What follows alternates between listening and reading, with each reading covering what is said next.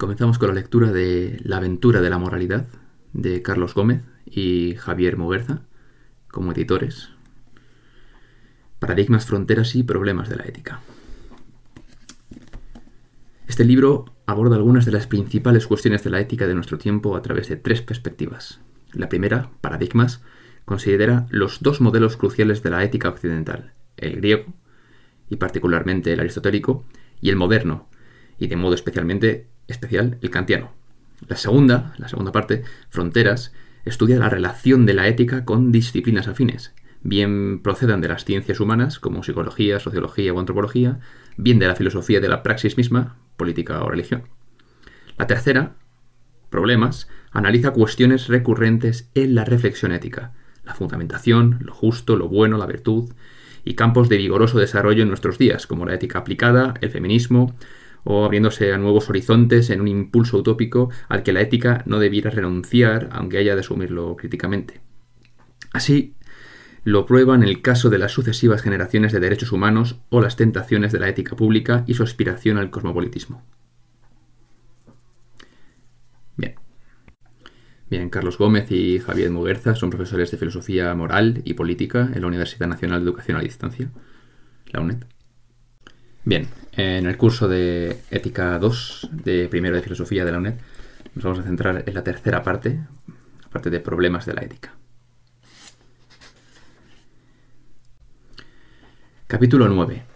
Racionalidad, fundamentación y aplicación de la ética. Por Javier Muguerza. 1. La razón práctica. Las palabras moral y ética, respectivamente procedentes del vocablo latinos mos y el vocablo griego ethos,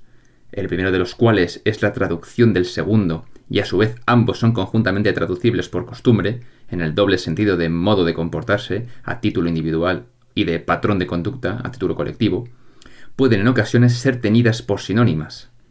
otras veces, en cambio, se entiende por moral todo lo relativo a nuestras acciones y a los valores o las normas que pudieran inspirarlos, reservándose la denominación de ética para la reflexión filosófica acerca de la moral. Pero la sinonimia eh, la sinonimia precedente convierte a la distinción entre moral y ética, así entendida, en una distinción equivalente por igual a las distinciones entre moral y filosofía moral, o entre moral vivida y moral pensada, para decirlo como Aranguren, y entre ética normativa y ética crítica, o entre códigos éticos y teorías éticas, dicho sea con terminología también de uso común en nuestros días. Distinciones que vendrían todas ellas a confluir en la existente entre un plano de primer orden, el plano en que discurre la acción valorativa o normativamente inspirada, y un plano de segundo orden, llamado a permitirnos reflexionar crítica y filosóficamente sobre esos valores y esas normas que les sirven de inspiración. Y todavía antes de entrar a, pormenorizar esos matices, habría que insistir en recordar que no todas las acciones de los seres humanos tendrían por qué revestir relevancia moral o ética, entiéndase o no como sinónimas ambas expresiones. Por ejemplo, las acciones referidas a los enunciados Bruto saludó a César y Bruto mató a César se hallarían a la par desde un punto de vista meramente descriptivo o fáctico, pero no así desde un punto de vista valorativo o normativo. La segunda de ellas, en efecto, pudo ser aprobada por Plutarco y reprobada por Dante, dando lugar de esa manera a juicios moral o éticamente relevantes como los juicios de valor. Bruto realizó un acto de justicia y Bruto cometió un crimen injustificable. O los juicios normativos. Bruto hizo lo que debía y Bruto no debería haber hecho lo que hizo, etc. Sobre los que hubieron de versar y siguen versando hoy buen número de discusiones filosóficas. Ahora bien, las discusiones filosóficas, a diferencia, supongamos, de lo que ocurre con frecuencia en las discusiones domésticas y no digamos las políticas, han de llevarse a cabo indiscutiblemente por medio de argumentos o razonamientos, circunstancia que para nuestros efectos nos obliga a preguntarnos, echando mano de un título bien conocido, por el puesto de la razón en la ética, o lo que vendría a ser lo mismo, por la especificidad, si la hay, de lo que de ordinario se conoce como la razón práctica. Acuñada por Kant, dicha expresión no aludía, por lo demás, a un tipo de razón diferente de lo que entenderíamos hoy por razón teórica, sino más bien a uno de entre dos diferentes usos, teórico y práctico, de la misma razón. Pero el origen de dicha distinción vendría a remontarse, en última instancia, a Aristóteles, quien nos advertía sabiamente de que no se ha de pretender un mismo grado de rigor en todos los razonamientos, y que, según palabras de Aristóteles, lo propio del hombre instruido es buscar la exactitud en cada género de conocimientos en la medida en que le admite la naturaleza del asunto. De suerte que tan absurdo sería alabar a un matemático que empleara la persuasión como reclamar demostraciones a un retórico. Aristóteles, Ética Nicómaco. Advertencia tras la que late la distinción aristotélica entre la ciencia, que se ocupa de lo necesario, entendiendo por tal aquello que no puede ser de otra manera, y determina que las proposiciones científicas hayan de ser universalmente válidas y apodícticas, y la filosofía de las cosas humanas, la antropología filosofía, que se ocuparía de lo contingente, esto es, de aquello que puede ser de otra manera, y acerca de lo cual, por consiguiente, no cabe que haya ciencia. Tal y como hoy día tendemos a ver las cosas, la caracterización aristotélica de la ciencia se ajustaría, en el mejor de los casos, a las ciencias exactas del tipo de la matemática, pero la epistemología falibilista, vigente en el dominio de las ciencias empíricas, como lo son las ciencias naturales y las ciencias sociales, convierte a estas en ciencias de lo contingente, esto es, en ciencias de lo que siempre podría ser de otra manera, o por lo menos de lo que siempre podría ser conocido de otra manera, además de obligarles a reemplazar el carácter apodíctico de sus, conclusiones teóricas por la simple plausibilidad y a reducir con gran frecuencia la universalidad de las correspondientes leyes o hipótesis científicas a meras probabilidades o regularidades estadísticas, de manera que no será la contingencia de sus objetos del conocimiento lo que arroje un decisivo criterio de distinción entre tales ciencias y la ética, sino más bien la circunstancia de que esta última no se ocupa cognoscitivamente de sus contenidos. Para decirlo en dos palabras, un enunciado, o el, juicio de hecho que lo envuelve, como Bruto mató a César, ha de ser siempre susceptible de verdad o de falsedad, según que se ajuste o deje de ajustarse a la realidad del hecho que enuncia, esto es, según que sea o no cierto que Bruto mató a César. Pero un juicio de valor como Bruto hizo mal o bien matando a César, que para nada envuelve un enunciado, sino que se limita sino que se limita a expresar una valoración del hecho de referencia, no será en cambio susceptible de ser considerado verdadero ni falso. O, como Aristóteles habría dicho, los juicios de este segundo tipo, que contienen valoraciones, más bien que enunciaciones de los hechos, no serían tanto teóricos, al modo de los juicios científicos, sino prácticos. De los ejemplos anteriores, ¿acaso se desprenda la impresión de que actuar y hacer fueran lo mismo? Pero se trataría de una impresión errónea, pues Aristóteles distinguía entre la acción, praxis, el proceso, así como resultado de actuar, y la producción, poiesis, o proceso y resultado de hacer en el sentido de hacer algo, a saber, el producto resultante. Y de hecho, tal distinción aristotélica se halla a 100 codos por encima de algunas teorías contemporáneas de la acción y o la producción, para las que, sobre la base de una palmaria confusión entre el agere y el facere,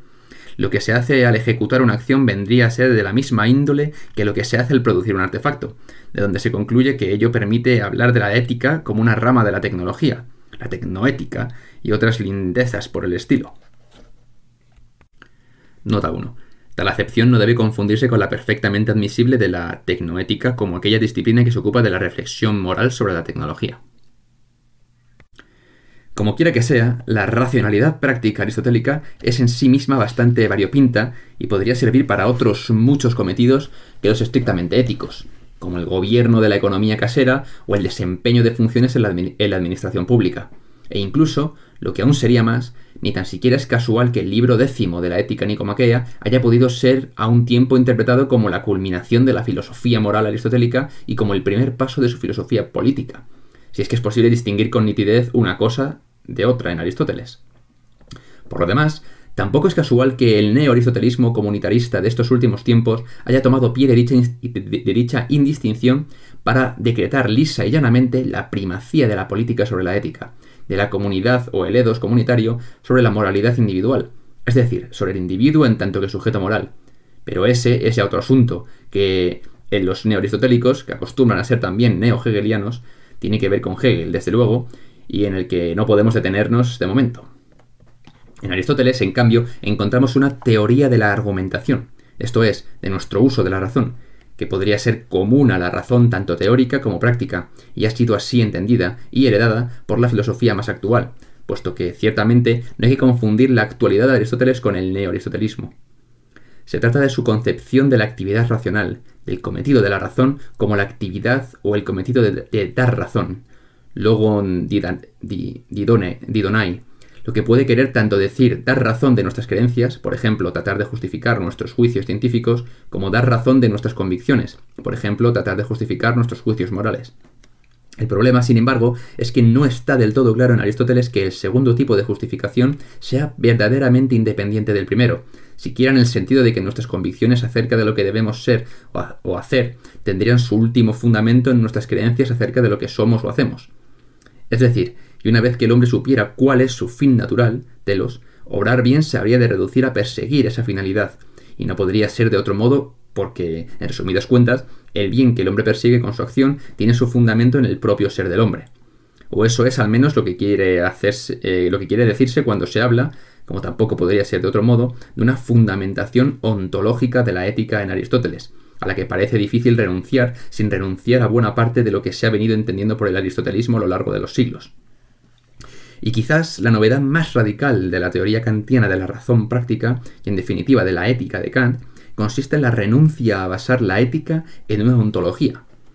A diferencia de la racionalidad teórica de nuestras creencias, la racionalidad práctica de nuestras convicciones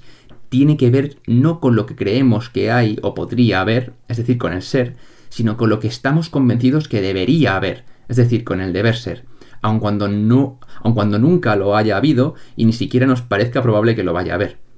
En efecto, la lucha en pro de aquello que consideramos justo, o por lo menos en contra de aquello que consideramos injusto, no tendría por qué desalentarse ante la constatación de que la, de que la justicia escasea en este mundo e incluso resulta harto improbable que algún día veamos mitigada su escasez.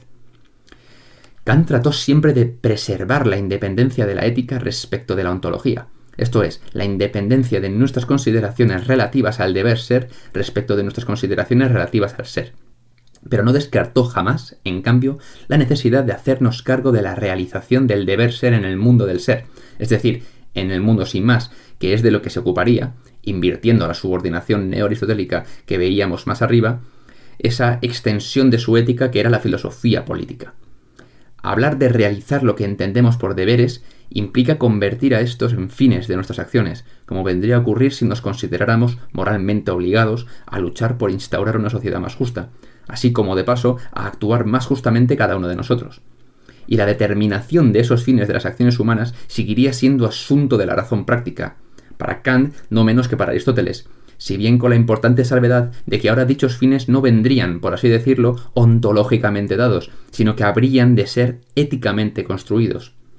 Aristóteles podía decir aún que el hombre es un ser social por naturaleza, pero el hombre moderno se ha acabado desnaturalizando sin remedio hasta perder aquel ser social que parecía corresponderle como fin natural en cuanto miembro de la polis o ciudad-estado griega. En contraste con la antigüedad, la moderna sociedad hubo de ser construida o reconstruida sobre nuevas bases, en cuyo caso parecía a todas luces preferible que semejante construcción o reconstrucción se viera presidida, frente a lo propugnado desde otras teorías contractualistas, no menos características de la modernidad como la jovesiana, por una intención ética, que es lo que sucedió con la teoría rusoniana del contrato social de la que Kant sería declaradamente un continuador. Pero dejando esta cuestión para otro lugar, la que no podemos pasar por alto en este asunto, en este punto, es la cuestión de los medios de los que hayamos de valernos para alcanzar los fines perseguidos con nuestras acciones. Como sabemos ya, la racionalidad práctica o racionalidad de nuestra praxis no había de confundirse en Aristóteles con la racionalidad de la ciencia, episteme, pero tampoco con la racionalidad propia de la producción técnica, tecné, es decir, con lo que llamaríamos hoy la racionalidad instrumental. Kant estaría de acuerdo en este respecto cuando a su vez distingue entre mandatos de la moral, Gebote de Schittlichkeit, como el que nos intima a respetar la vida de nuestros semejantes, y reglas de la habilidad, Regeln der Geschichtlichkeit, desprovistas en sí mismas de significado moral, lo que convierte en igualmente apropiadas para sus respectivos propósitos a las prescripciones de un médico destinadas a curar a su paciente y a las de un envenenador destinadas a hacer desaparecer a ese mismo sujeto de este mundo. En cuanto a Aristóteles, el ejercicio de la racionalidad práctica se hallaba encomendado por él a la frónesis, que suele traducirse por prudencia y podría ser caracterizada, como alguna vez se ha sugerido contemporáneamente, a la manera de una capacidad inventiva que faculta a un agente para hacer frente a situaciones imprevistas en el ámbito de su acción. Pero cualquier cosa que sea lo que acontezca con la prudencia aristotélica, la prudencia como virtud había venido sufriendo a lo largo de la Edad Moderna un irreversible proceso de erosión, proceso del que, según ha señalado Aranguren, se hizo eco entre nosotros un moralista como Baltasar García, y acabaría por convertirse en lo que Kant traducía como Klugheit, a saber, la prudencia entendida como una forma de astucia encargada de regular en provecho propio nuestra interacción con otros seres humanos. Los consejos de la sagacidad, Ratschläge der Klugheit, en que se plasma la prudencia kantiana, darían en tal sentido un paso más sobre las reglas de la habilidad, encargadas de instrumentar los medios más eficaces con vistas a la consecución de cualesquiera fines, y ni siquiera retrocederían ante la idea de servirse del ser humano mismo como un medio, tras haber reducido a asuntos de estrategia la mutua interacción de unos hombres con otros. Confinado al ejercicio de lo que hoy llamaríamos la racionalidad estratégica, el médico de nuestro anterior ejemplo añadiría al uso instrumental de sus habilidades terapéuticas la posible utilización de estas últimas e incluso de los propios pacientes como un recurso o una estratagema exclusivamente al servicio de su éxito en la profesión, que es lo que haría a, fortiori el envenenador que se sirviera de las suyas con el fin de eliminar a un rival interpuesto en su camino o de asegurarse el disfrute de una herencia. Y Kant, que ya había rechazado la supeditación del uso práctico de la razón a su uso teórico, tampoco vacilaría en rechazar avant le el, el desplazamiento de la razón práctica en beneficio de semejante mixtura de racionalidad instrumental y o estratégica. Como explicaría Kant a sus alumnos en las lecciones de ética, cita Kant, la filosofía práctica es una ciencia que versa sobre las leyes objetivas del libre albedrío, tal y como la antropología es una ciencia que lo hace sobre las leyes subjetivas del arbitrio. Las leyes prácticas que dicen lo que debe suceder son de tres clases. Reglas de la habilidad, consejos de la sagacidad y mandatos de la moralidad. Una ley práctica objetiva se expresa por medio de un imperativo. Hay, por tanto, tres tipos de imperativos. Un imperativo de la habilidad, un imperativo de la sagacidad y un imperativo de la moralidad.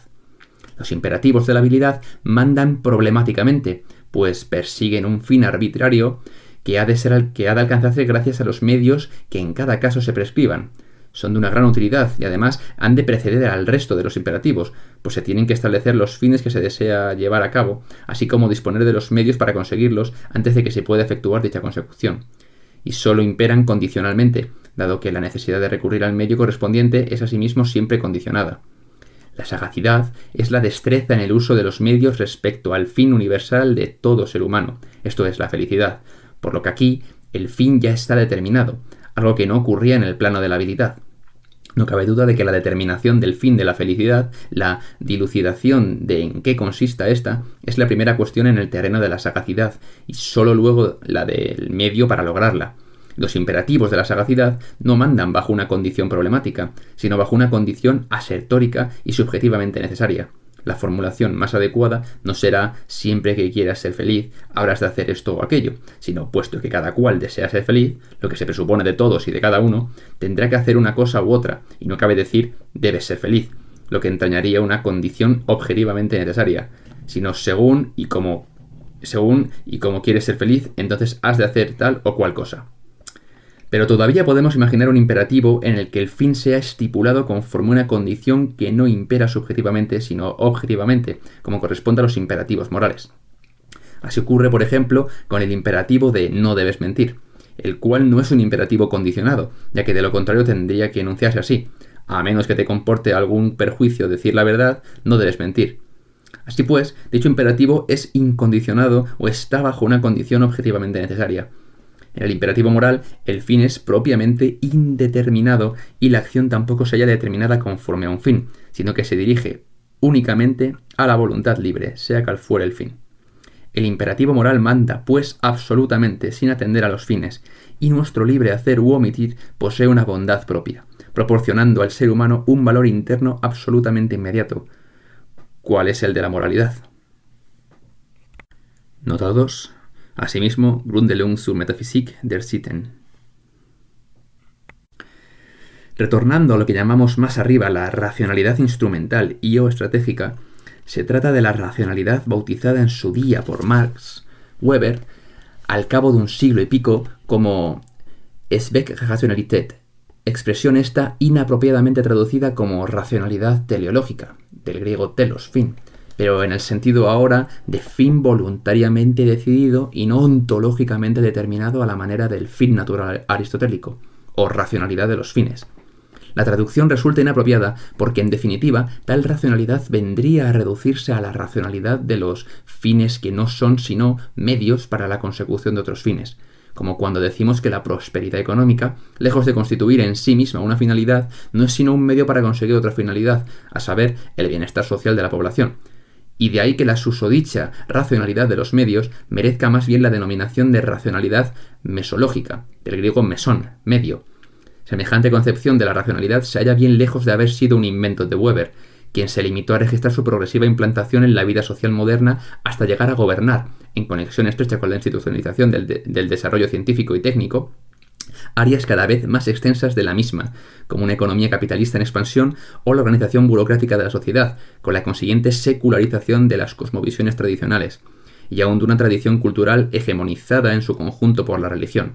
antaño encargadas de orientar la praxis de los seres humanos. Lo que es más, el auge de este tipo de racionalidad, que Weber gustaba de acoger bajo el rótulo de proceso de racionalización, no dejaría de despertar en él sentimientos encontrados. Por un lado, dicho proceso habría construido o contribuido a liberar al pensamiento humano de buen número de supersticiones, prejuicios y errores, con que la tradición lo atenazaba, cumpliéndose de este modo uno de los designios capitales de la Ilustración,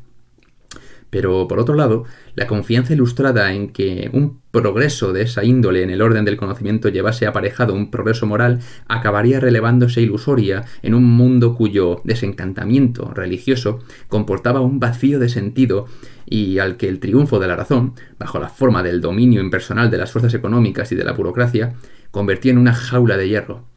Weber tomó absolutamente en serio, desde luego, la advertencia de Nietzsche sobre el advenimiento del nihilismo como la lógica conclusión de las grandes ideas y valores de la humanidad, y por lo que a esto se refiere, se mostró convencido de que la muerte del Dios único, esto es, el ocaso del monoteísmo, junto a la incapacidad de la racionalidad mesológica o racionalidad de los fines que son tan solo medios con vistas a la consecución de otros fines para hacerse cargo de nuestros fines últimos o valores, inauguraba un nuevo politeísmo en que el enfrentamiento de los dioses o acaso los demonios, habría de confiarse al azar o al destino, pero escaparía en cualquier caso al gobierno de la razón. Lo que por cierto entraña una expresiva proclamación de escepticismo acerca de las posibilidades de una supuesta racionalidad valorativa, Rationalität, o cualquier sucedáneo suyo que aspirase a terciar en los conflictos de valores en que la humanidad se ve enzarzada, en lugar de dejarlos entregados a la irracionalidad pura y simple. Si pensamos ahora que la kantiana racionalidad deontológica, del griego deón, deber, guarda un próximo parentesco con aquella racionalidad valorativa, siquiera la medida en que no es infrecuente el tránsito de la una a la otra, pues de ordinario nos sentimos moralmente obligados a realizar con nuestras acciones aquellos fines que en más alto grado valoramos, o dicho sea la inversa, valoramos moralmente en el grado más bajo aquellos fines que nos sentimos moralmente obligados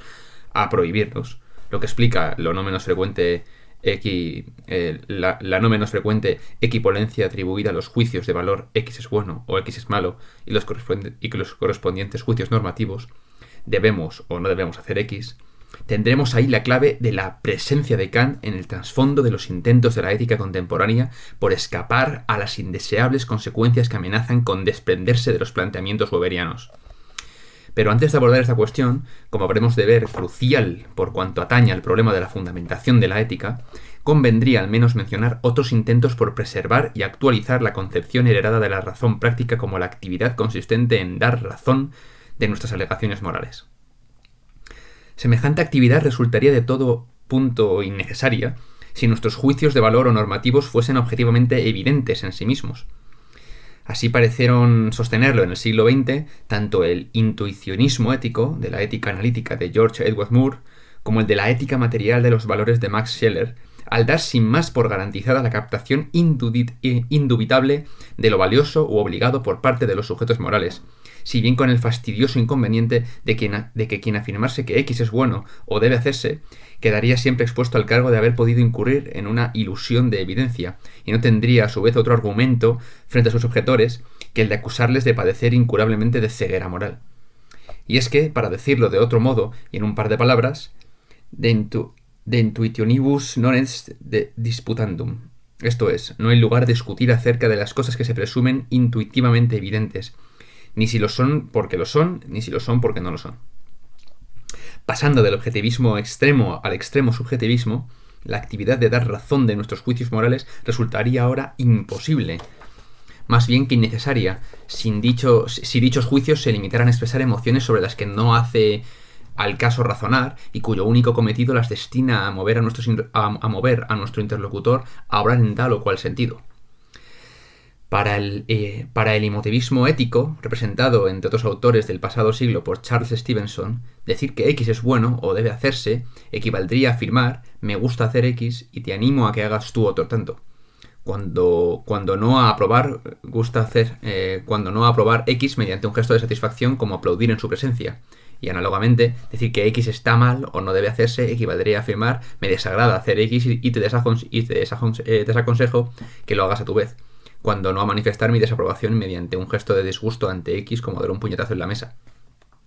Así pues, tampoco cabe discutir en lo que se refiere a nuestras emociones. Nece de emotionibus disputatum es. Contra lo,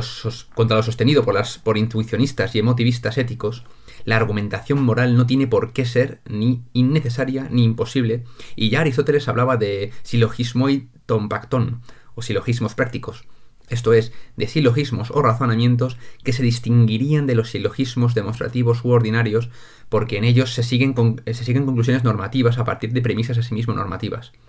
O dicho en términos más actuales, la lógica deóntica no sería menos lógica, ni menos deductiva, que la lógica enunciativa o apofántica que opera con enunciados y valores de verdad.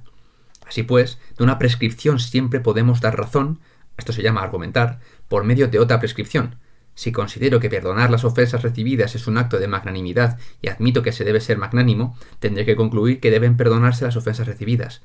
Y si con ocasión de una eventual renuncia mía al placer de los dioses alguien me preguntase ¿por qué no te has vengado de tu ofensor? Yo podría entonces responder porque se deben perdonar las ofensas recibidas, lo que a su vez suscitaría la nueva pregunta ¿y por qué deben perdonarse las ofensas recibidas? así como la correspondiente nueva respuesta, porque se debe ser magnánimo, y en cuanto a la todavía ulterior pregunta, ¿por qué se debe ser magnánimo?, solo cabría ya responder alegando que la magnanimidad constituye uno de los valores supremos que presiden mi código moral y sirven a este de sustentación. Por descontado, el que la magnanimidad sea una razón para perdonar las ofensas recibidas no excluye que, en otros códigos morales, haya asimismo otras razones para hacerlo, como en el caso del cristiano que prefiere invocar la caridad con la agobiante sobrecarga impuesta por la obligación de amar a nuestros enemigos, frente a la sobria magnanimidad, la megalopsiquia griega, perfectamente compatible con la indiferencia e incluso el desprecio hacia dichos enemigos, que para aquel no pasaría de constituir una virtud pagana. El encadenamiento, el encadenamiento, deductivo de una serie de normas, en tanto que razones, es lo característico del prescriptivismo ético del filósofo moral recientemente fallecido Richard Hare. Pero si, todo lo que el pero si todo lo que el prescriptivismo fuese capaz de garantizar son encadenamientos del tipo de debe hacerse X porque debe hacerse Y porque debe hacerse Z, se lo podría objetar que su, que su concepción de razonamiento moral, justamente reivindicado como posible y necesario, es sin embargo insuficiente, pues de las últimas razones ya no cabe tampoco la razón, esto es, de prescriptonibus disputatum es set non ad sumum.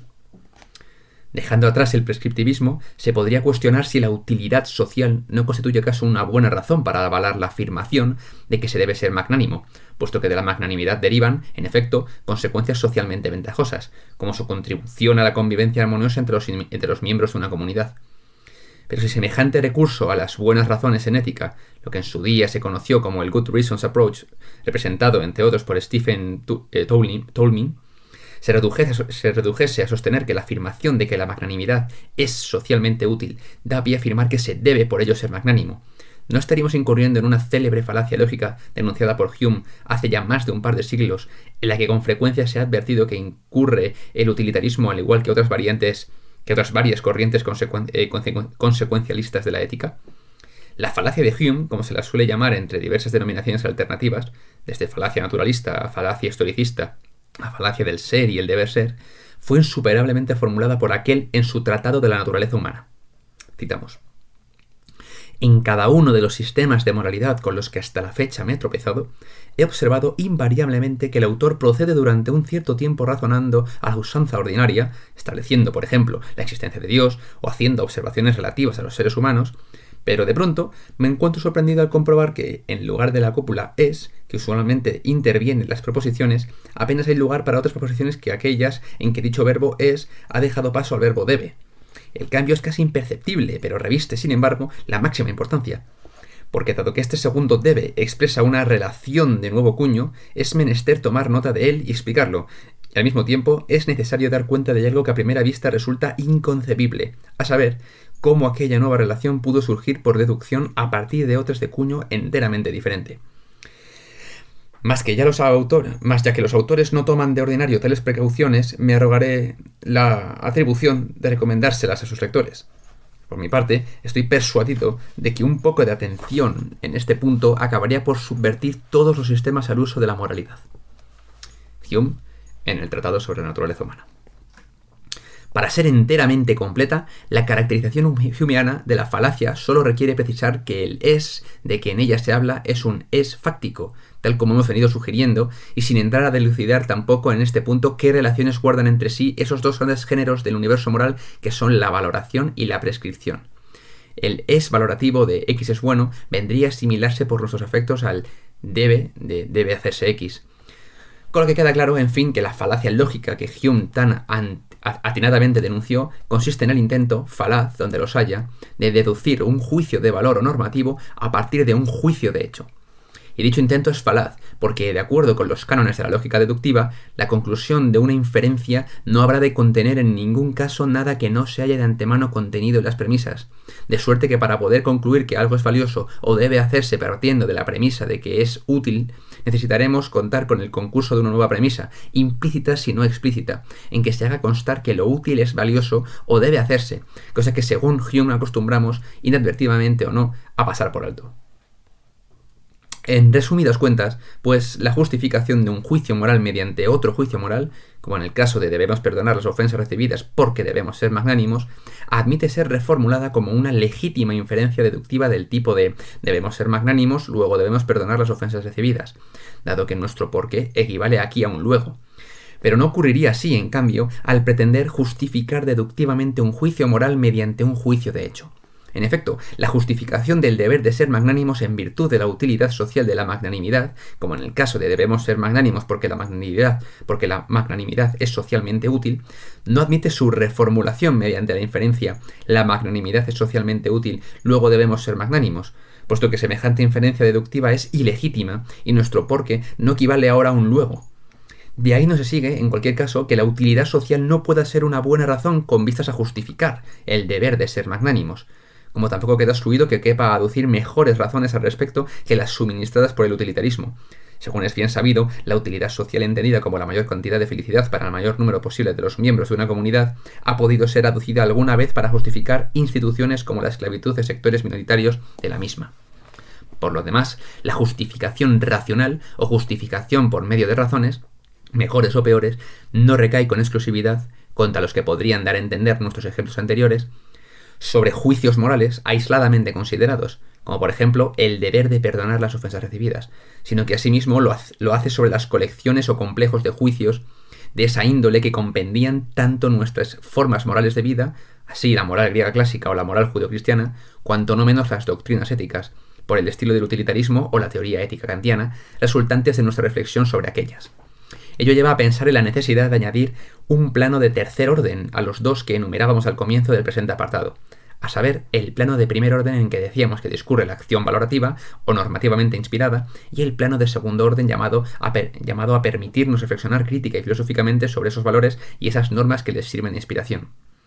Y si, como allí, llamamos respectivamente moral y ética a cada uno de ambos planos, podremos darle a nuestro tercer plano la denominación de metaética, designando con ella el nuevo ámbito en que se habría de ventilar la problemática de la fundación de la ética. Punto 2. El problema de la fundamentación. La denominación de metaética que se acaba de introducir en el anterior apartado no coincide en su significación con la usualmente atribuida a aquel término en el contexto de la ética analítica, concebida por lo común como un metalenguaje desde el que abordar el examen de ese peculiar lenguaje objeto que vendría a ser el lenguaje moral o ético. Como más de una vez ha sido hecho observar, la metaética no tiene por qué reducirse a un monopolio de la filosofía moral analítica, ni quedar circunscrita a los cánones impuestos a la ética de semejante persuasión por una restrictiva interpretación del giro lingüístico del pensamiento filosófico contemporáneo, hoy generalizado y extendido a otras corrientes de este último como la hermenéutica o la teoría crítica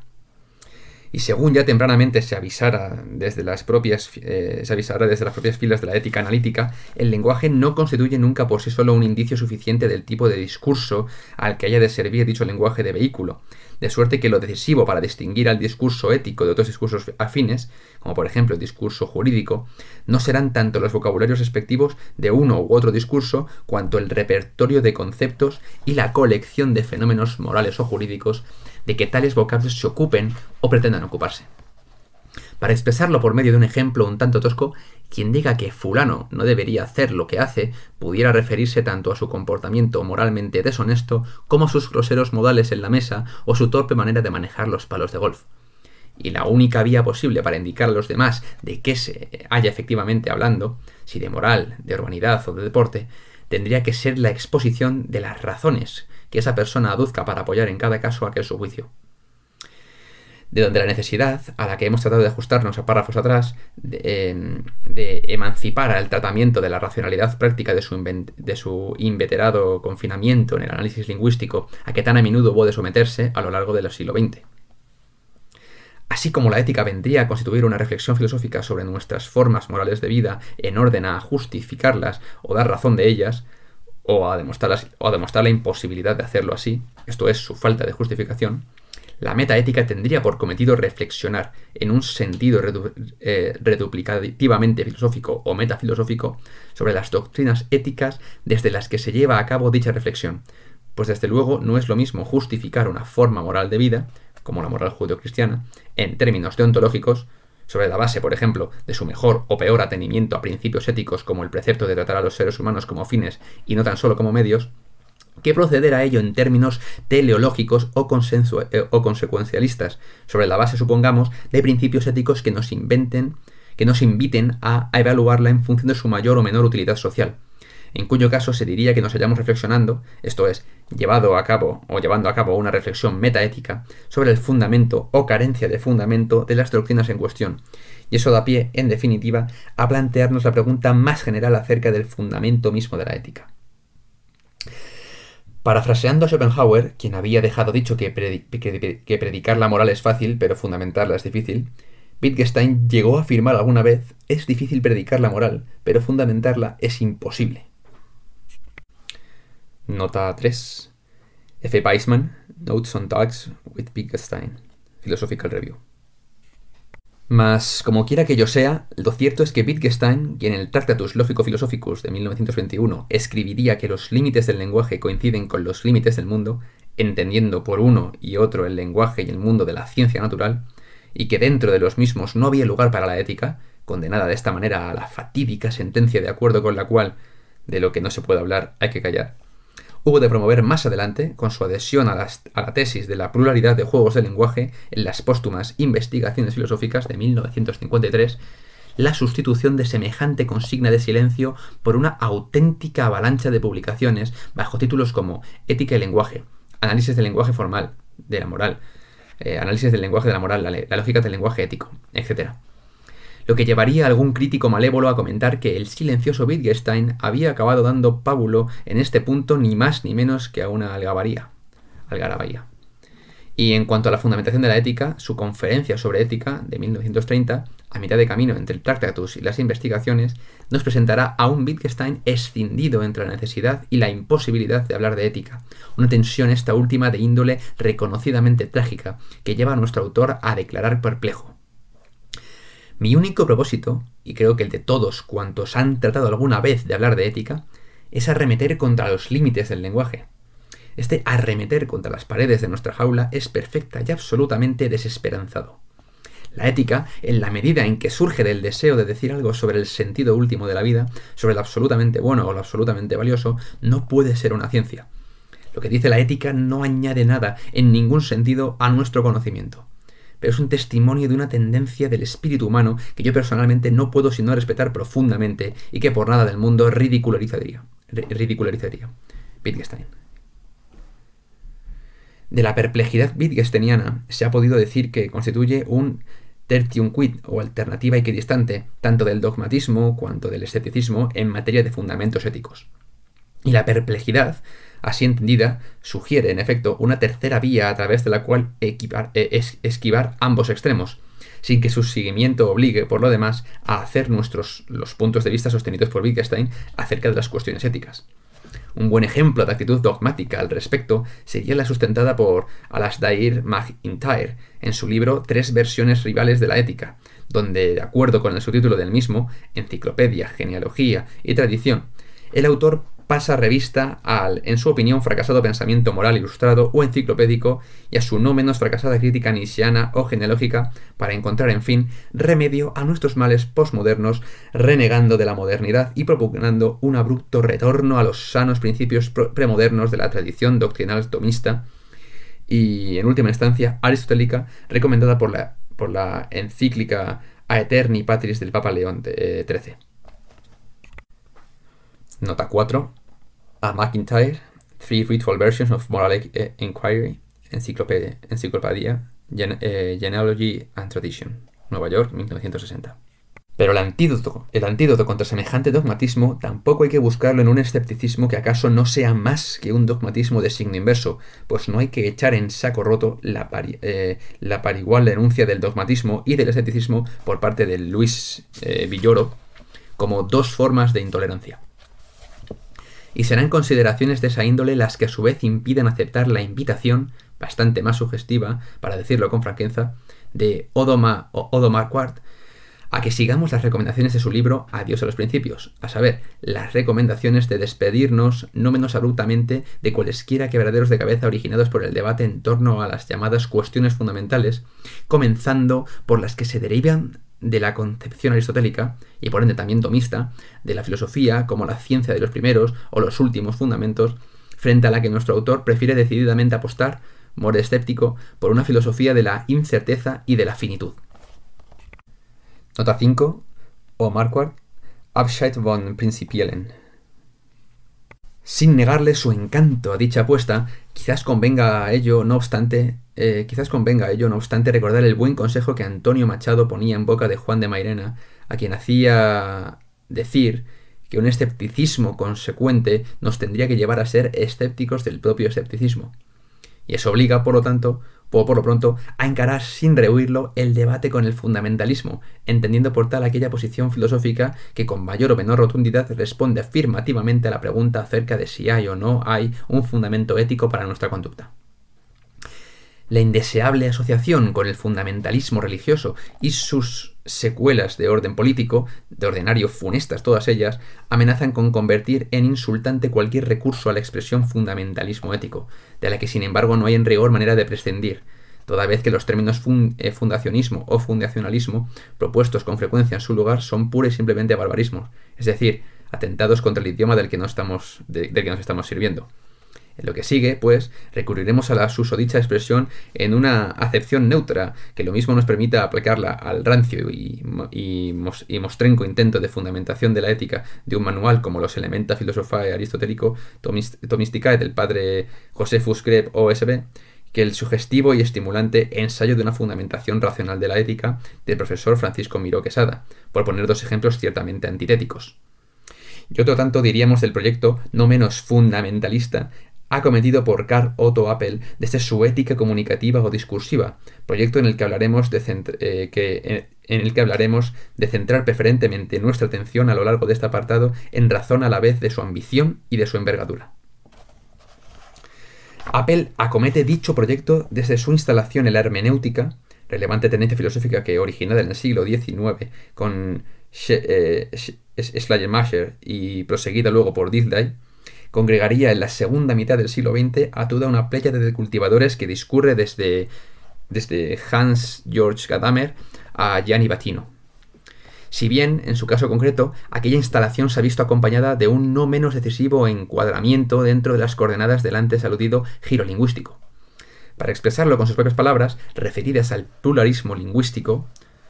del último Wittgenstein, se trata de pensar con Wittgenstein contra Wittgenstein para ir más allá de Wittgenstein, pues la idea Wittgensteiniana de una pluralidad de heterogéneos juegos de lenguaje, Sprachspiele, doblados de otras tantas formas de vida, Lebensformen, asimismo heterogéneas entre sí, no tendría por qué impedirnos, a juicio de Apple, adivinar en su trasfondo el lenguaje como la forma humana de vida por excelencia, caracterizada precisamente en cuanto tal gracias a la posibilidad de intercomunicación de las diversas comunidades lingüísticas y vitales involucradas, conduciéndonos a descubrir de esta manera una fundamental homogeneidad bajo la primigenia heterogeneidad de todos ellos.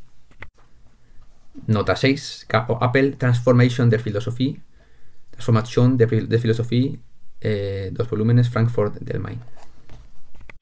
Y a semejante posición que defiende, frente al contextualismo de estirpe wittgensteiniana, la posibilidad de trascender desde el lenguaje mismo el posible confinamiento de la ética en una serie de contextos lingüísticos estancos, si es que no mutuamente inconmensurables, le corresponde bien la denominación que Apple le otorga sin empacho de trascendentalismo.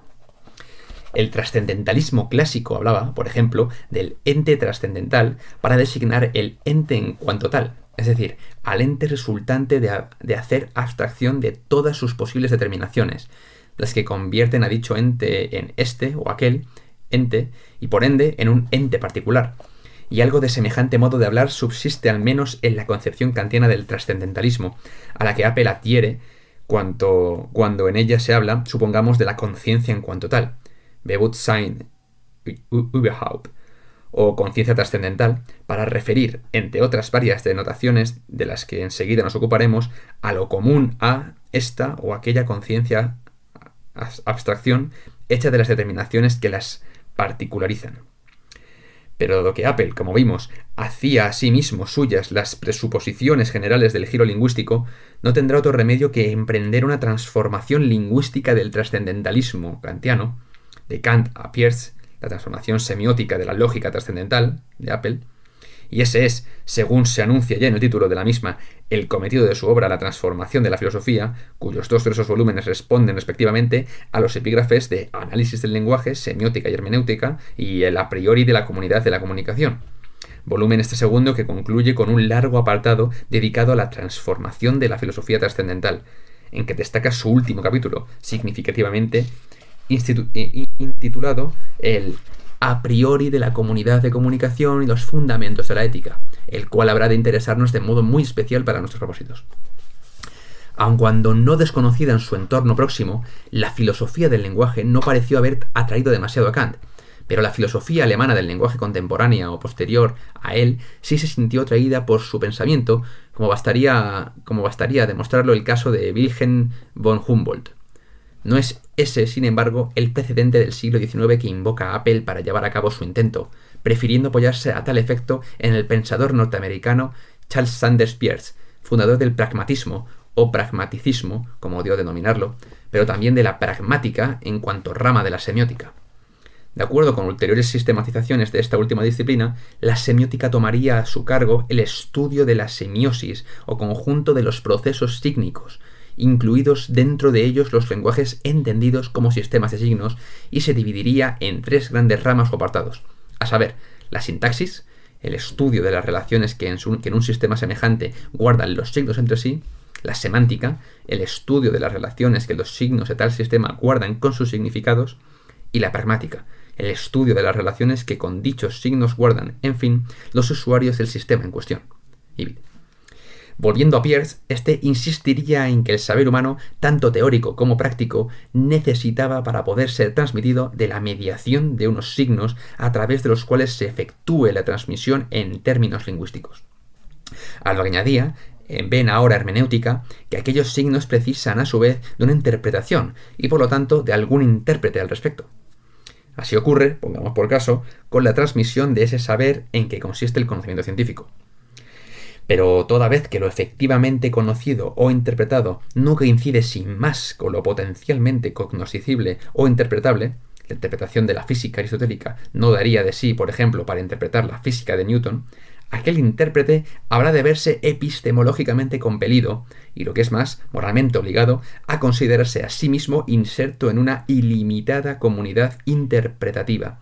Indefinite Community of Interpretation, cuyo límite ideal coincidiría con el del incremento posible del conocimiento. Si los miembros de esa comunidad ideal fueran, como lo habrían de ser, idealmente racionales, es decir, racionales por igualdad y sin excepción, no cabe duda de que, siquiera sea a la larga, in the long run, a través de un proceso de investigación lo suficientemente prolongado, llegarían a ponerse de acuerdo sobre una opinión final, ultimate option, común a todos ellos, de suerte que su consenso intersubjetivo se convertiría, así, en garante de la objetividad del conocimiento científico. Mas ya que tal proceso solo tiene lugar en el seno y por obra de una comunidad real, y en condiciones, pues, de imperfecta racionalidad, la incertidumbre de su resultado necesitará verse compensada, como hemos adelantado, por un principio ético que obligue moralmente a sus miembros a secundar aquella aspiración consensual, el a priori de la comunidad de comunicación y los fundamentos de la ética. Apple.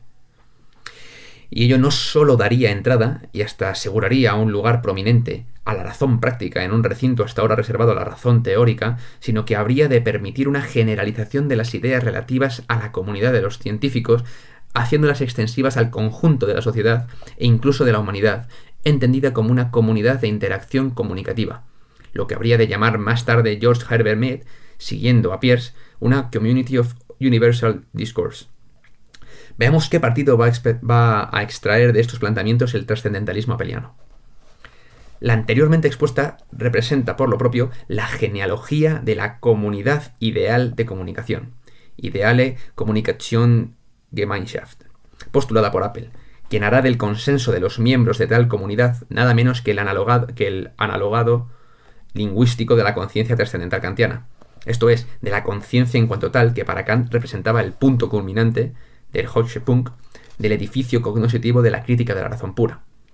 Insertándose a su manera en la tradición de la filosofía moderna inaugurada por Descartes, Kant daba el nombre de apercepción trascendental a la autopercepción por vía indirecta de un hipotético sujeto trascendental o sujeto con mayúscula idealización de esos sujetos con minúscula que somos los sujetos cognoscentes,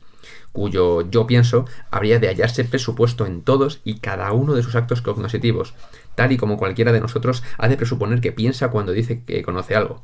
y cuya constitución, la conformación espacio-temporal de su sensibilidad o las leyes de su entendimiento, como en el caso del principio de causalidad, vendría a oficiar como la condición de posibilidad o el fundamento a priori de todos nuestros conocimientos, desde nuestras intuiciones empíricas más elementales a nuestros más complejos y sofisticados juicios científicos. Por ejemplo, cuando vemos una manzana caer de un árbol, fenómeno que consideramos que acontece en el espacio y en el tiempo, o cuando formulamos la ley newtoniana de la gravedad, considerándola como una concreción del principio de causalidad en el contexto de la física clásica. Y para Apple, como para Pierce, aquel sujeto kantiano habría quedado, por así decirlo, transformado en la comunidad de los sujetos que idealmente, esto es, en condiciones ideales, se comunican entre sí en orden a compartir sus conocimientos. Citamos a Apple. A mi juicio, en una reconstrucción consecuente de la filosofía trascendental realizada a la luz de la concepción hermenéutica del lenguaje, el elemento decisivo consiste en sustituir el punto culminante o supremo de la teoría kantiana del conocimiento, la unidad trascendental de la percepción, por la trascendentalidad de la interpretación lingüísticamente mediada como unidad del acuerdo en el seno de una comunidad de comunicación, con lo que la conciencia en cuanto tal, que era un supuesto metafísico para Kant, se verá reemplazada ahora por el principio de la formación crítica de un consenso en el seno de la comunidad ideal de comunicación, que por lo pronto deberemos tratar de construir en la comunidad real de comunicación en que nos encontremos. El concepto hermenéutico trascendental del lenguaje. Apple, 1985 con lo cual, por añadidura, se superaría el solipsismo metodológico que Apple atribuye a la epistemología clásica, sin exceptuar la kantiana, en razón de su característica tendencia a concebir toda relación cognoscitiva, incluida la de interpretación de los signos, como una relación entre un sujeto y un objeto, relación a sustituir en adelante por una relación entre sujetos o intersubjetiva. Una concepción esta de la intersubjetividad que se ha de hacer valer tanto frente a lo que cabría llamar tal vez una concepción excesivamente subjetivista de la subjetividad, que la reduce a un sujeto eh, monádico y por definición excluye entonces la intersubjetividad, cuanto frente a lo que tal vez cabría llamar una concepción excesivamente objetivista de la objetividad, que se resiste a hacerla consistir en una relación poliádica entre sujetos, lo que de nuevo por definición vendría a dejarla al al margen de la intersubjetividad. Por el contrario, la superación del solipsismo metodológico permite superar a un mismo tiempo ambas alternativas, haciendo radicar en la intersubjetividad, como decíamos más arriba, la mejor garantía, por no decir la única posible, de la objetividad, hecha ahora consistir en el consenso de una comunidad de sujetos. A lo que hay que añadir que esa, esa radicación en la intersubjetividad no reza solamente para con la garantía epistémica de nuestras creencias, como en el caso del consenso relativo a lo que debemos en, a lo que a lo que debemos a lo que debemos en considerar leyes científicas, sino que asimismo se extiende a la garantía ética de nuestras convicciones, como en el caso del consenso relativo a lo que debemos en considerar normas morales.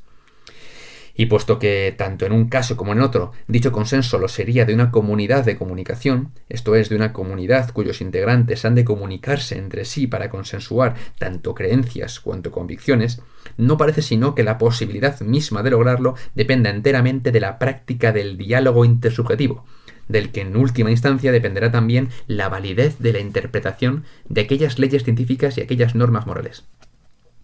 De la hermenéutica así entendida, se ha podido decir que se ha, podido decir por ello que traiciona felizmente a su mismísima etimología, puesto que, lejos de confiar a un Hermes portavoz de los dioses la instauración de nuestras leyes y de nuestras normas, nos animaría a convertirnos en portavoces de nosotros mismos, sustituyendo al logos monológicamente impartido desde arriba por el logos dialógicamente compartido aquí abajo, esto es, el logos transformado en diálogos y convertido en un bien público, cuyo gobierno corresponde enteramente a los seres humanos.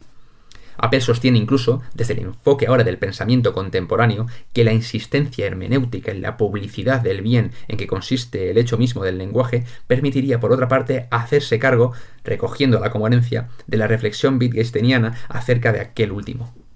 Citamos. Solo desde nuestra perspectiva, cobran validez muchos de los más valiosos hallazgos de Wittgenstein tardío, como sucede por ejemplo con la intuición, verdaderamente revolucionaria para toda forma de pensar, de que es por principio imposible un lenguaje privado, dada la imposibilidad de que nadie alcance a seguir una regla lingüística dictada por y para él solo, sin establecer ninguna distinción entre tal regla y la más abstracta arbitrariedad, ya que el establecimiento de criterios distintivos a ese respecto dependerá constitutivamente de que otros se hallen en situación de controlar el sometimiento de su usuario a la regla en cuestión.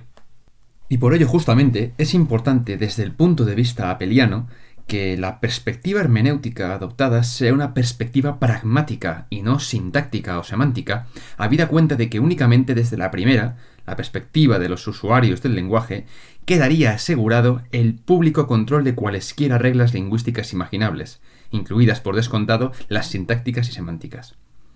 El recurso a la pragmática constituye, en efecto, una pieza de esgrima favorita en la contienda de Apple con el racionalismo crítico popperiano y de manera señalada con su representante Hans Albert. Para este, cualquier intento de fundamentación última, Letzbegründung, de un sistema de leyes científicas o de normas morales se haya condenado al fracaso, pues habrá de enfrentarse inevitablemente con uno u otro de los tres cuernos del llamado trilema de, trilema de Munchausen, a saber, el de una regresión infinita en la búsqueda de premisas de las que deducir tales leyes y normas, el de un círculo vicioso que indebidamente otorgue el rango de premisas a algunas de esas leyes o normas ya deducidas con antelación, y el de una ruptura del proceso deductivo, en un punto determinado que caprichosamente haga derivar la deducción de todo el cuerpo de leyes o de normas que a partir de premisas intuidas de manera arbitraria, y será la indeseabilidad de cada una de las salidas o soluciones al trilema de Munchausen lo que en definitiva mueva a Albert a denegar la racionalidad del intento mismo de fundamentación última, proponiendo a su vez cifrar la racionalidad en un examen crítico de las teorías científicas y los códigos morales de resultas del cual dichas teorías y dichos códigos pudieran ser sustituidos por nuevas teorías y nuevos códigos.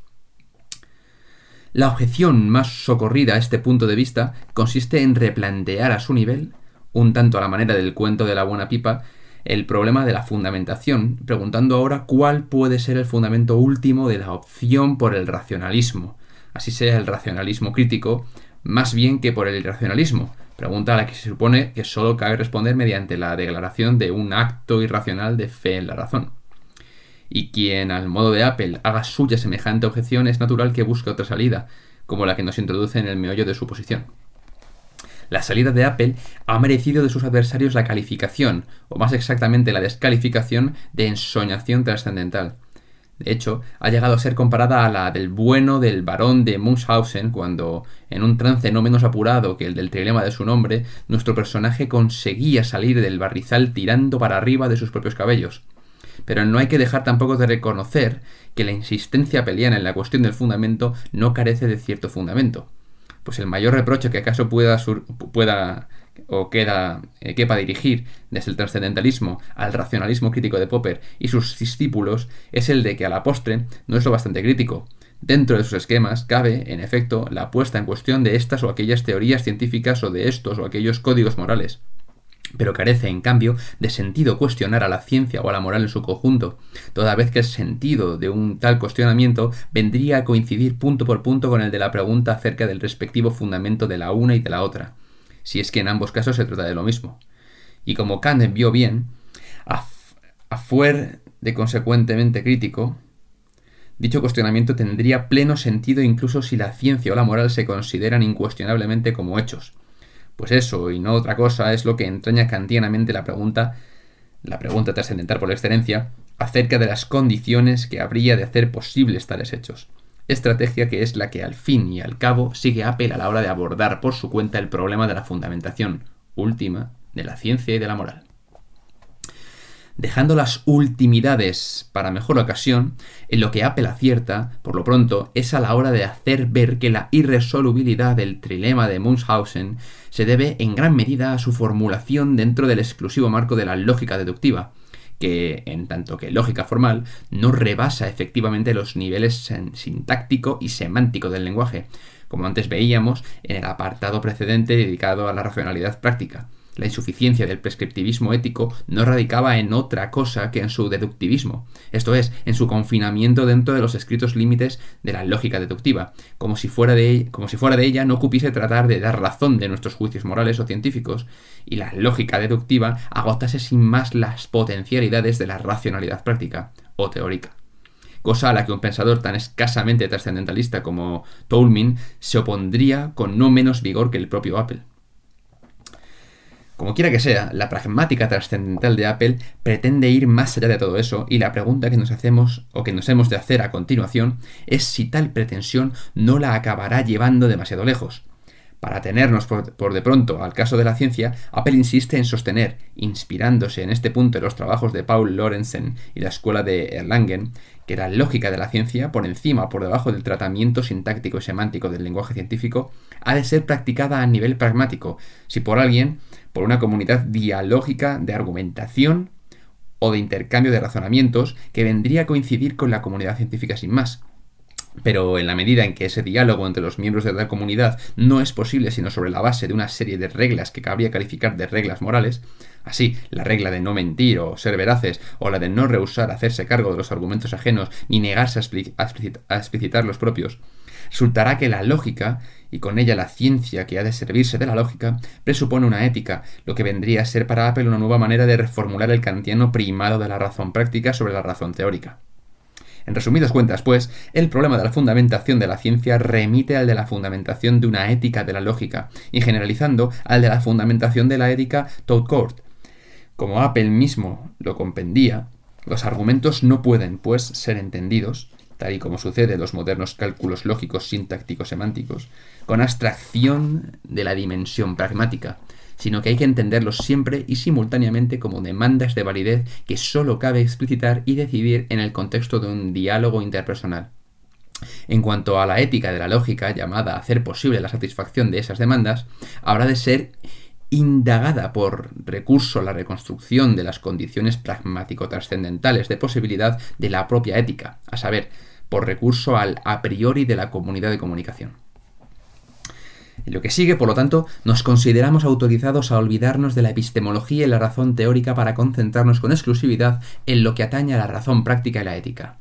Y por más que el diálogo argumentativo, llevado a cabo por medio de razones, pueda sin duda predicarse tanto de la argumentación científica como de la argumentación moral, prescindiremos de la primera a todos los efectos para ocuparnos solo de esta última.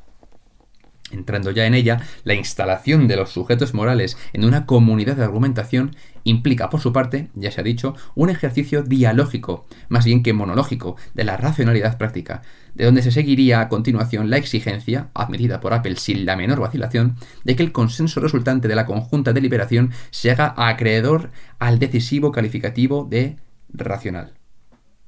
En cuanto al requisito del diálogo, la cosa no plantea grandes problemas, pues la razón podía aspirar a ser dialógica incluso en el caso límite de esa deliberación o reflexión intersubjetiva a la que Platón gustaba de dar el nombre de diálogo del alma consigo misma. Pero en cuanto a la racionalidad del consenso final, la, problematicidad podría subir de tono. Para empezar, a cualquier cosa que sea lo que suceda con el diálogo intersubjetivo, ni tan siquiera está muy claro que de un diálogo intersubjetivo haya de resultar forzosamente algún consenso. Y hasta cabría decir que en ocasiones nos impresiona más la racionalidad de aquel diálogo en que la discusión queda abierta que no la de aquel otro que se cierra con un infundado acuerdo de los interlocutores. Por no acudir siendo la instancia paradigmática de los diálogos socráticos de Platón, ahí está el caso del crátilo, en que Sócrates se despide del antagonista que da nombre al diálogo con un prometedor hasta otra, a lo que éste, a su vez, responde no menos prometedoramente, y por tu parte, no dejes de seguir dando vueltas al asunto. Pero como se acaba de advertir, e incluso en el supuesto de que el diálogo abocara a algún consenso, tampoco está del todo claro qué es lo que haría de tal consenso un consenso racional. Por descontado, nadie llamaría racional a un consenso resultante de una simple fatiga de los participantes en la discusión, ni menos aún coactivamente impuesto a estos por la fuerza bruta. Pero lo que se consideren razones suficientes para zanjar esa discusión es algo que no siempre se haya exento de un cierto grado de aleatoriedad y una racionalización convincente podría más de una vez suplir con éxito a la imposición por la violencia de un acuerdo. Con todo, cabría alegar, no sin alguna justificación, que no faltan criterios para determinar mejor o peor la suficiencia de los razonamientos, como tampoco faltan para distinguir con más o menos aproximación entre tales razonamientos y las racionalizaciones. Y si eso fuera cierto, como probablemente lo es, no sería entonces imposible discernir, siquiera en principio, entre un consenso de derecho y otro que meramente lo sea de hecho. Ahora bien, si llamáramos convencionalismo a la postura que rechaza la posibilidad de ir más lejos, ni siquiera en principio, de un mero consenso de hecho o convención, Apple sin duda sostendría que su consensualismo no se reduce a ningún caso, en ningún caso, a una variedad más del convencionalismo. Por el contrario, su consensualismo descansa en una idea tan poco convencional como la ya conocida por nosotros del a priori de la comunidad de comunicación, la cual vendría a encerrar nada menos que un imperativo categórico o principio supremo de la ética comunicativa o discursiva, a saber, el imperativo de contribuir mediante la argumentación a la realización práctica de la razón en este mundo. Y se trata, en rigor, de un principio que Apple da en considerar inesquivable, pues según él, quien quiera que suscite la cuestión de la justificación de un principio semejante se hallará ya participando en la discusión, y cabrá hacerle ver que ya ha aceptado tal principio como condición de la misma posibilidad de la argumentación.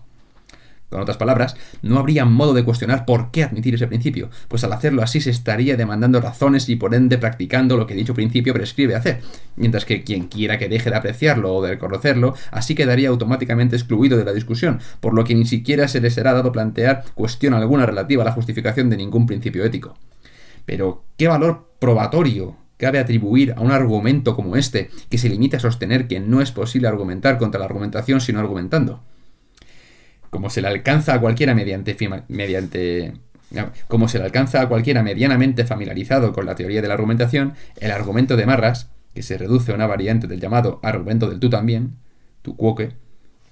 consiste en imputar a quien niega algo que también él lo está afirmando y se haya incurriendo de esta suerte en lo que Apple llamaría un autocontradicción una autocontradicción performativa, semejante a la del niño que dijese no puedo pronunciar la palabra abracadabra, por medio de una frase en que de hecho la pronuncia. Conocido ya de los lógicos estoicos, nuestro argumento recibiría en la Edad Media la denominación de consecuencia eh, mirabilis. Como admirable hubo de parecerles a los lógicos de la época la inferencia según la cual, si el intento de demostrar que la demostración es imposible demuestra, por el contrario, que la demostración es posible. Habremos demostrado en consecuencia la posibilidad de la demostración. Nota 7. The Development of Logic, de W.M. Kane. Prescindiendo de las cualificaciones morales, perdona, prescindiendo de las cualificaciones modales, el esquema de la inferencia vendría a rezar. Si o si no P, entonces P, si, entonces P. Repito, si, si no P, entonces P, entonces P. Un esquema inferencial irónicamente perteneciente a ese capítulo de la lógica formal que es la lógica deductiva, de cuya astringencia pretendía Apple escapar y su valor probatorio se estrellaría sin remedio ante quien rehusara dejarse constreñir por las fabulaciones sintáctico-semánticas de la demostración y las, a su juicio, ociosas concatenaciones de prótesis y apódosis de la misma, negándose por su parte a demostrar nada sobre el particular, esto es, negándose a entrar en el juego de un argumento pragmáticamente capcioso, por más que formalmente sea correcto. A Apple, en cambio, el argumento le parece de sobra suficiente para proclamar, más o menos kantianamente, que incluso si el diablo lograra introducirse en la comunidad de comunicación aparentando el muy ladino que asume su principio, pero sirviéndose de él con la única finalidad de subvertirlo, se encontraría burlado por el hecho de que, al argumentar, lo está ya obedeciendo de manera incondicionada, por lo que solo podría dejar de portarse bien, triste destino el suyo, pobre diablo, al precio de la autodestrucción. Por lo demás, y por proseguir invocando a Kant, habría que recordar también a este respecto que los imperativos categóricos solo resultan necesarios para aquel cuando la voluntad no se halla enteramente determinada por la razón, de suerte que Dios podría muy bien prescindir de ellos. Y ahora se de paso la lectura de tratados de ética, incluidos naturalmente los de ética comunicativa o discursiva. Pero dejando a un lado al diablo y al buen Dios, para los miembros de la más perfecta comunidad humana de comunicación imaginable, en la que la plenitud del diálogo racional se hallase universalmente asegurada por el mutuo reconocimiento como interlocutores de las partes, sería menester siempre algún imperativo de esa índole, pues lo que Kant llamaba el hecho de la razón, el factum der Vernunft, se daría en ellos velado por la sospecha de su contrafacticidad, esto es, por la sospecha de que ninguna comunidad humana de comunicación que lo sería a lo sumo, para decirlo nuevamente en términos kantianos, de voluntades justas más no santas, podrá presumir nunca de haber alcanzado el don de disfrutar de una voluntad racional sin restricciones. Y es, y es en razón de lo antedicho como Apple introduce la distinción antes mencionada entre consenso de hecho y consenso de derecho, pues de acuerdo con ella, citamos a Apple, la libre aceptación contractual de normas vinculantes por parte de un conjunto de seres humanos solo sería una condición necesaria, pero no, pero no suficiente, para la validez moral de dichas normas, toda vez que también cabría aceptar como vinculantes normas que fueran inmorales y por más que la capacidad de vinculación de cualquier contrato presuponga la libre aceptación de genuinas normas morales a cargo de las partes contratantes, la validez moral de dichas normas no podrá ella misma ser fundada en el hecho de haber sido aceptadas por la vía de un contrato semejante. Dicho de otro modo, ningún contrato podría tener en sí mismo su propio fundamento.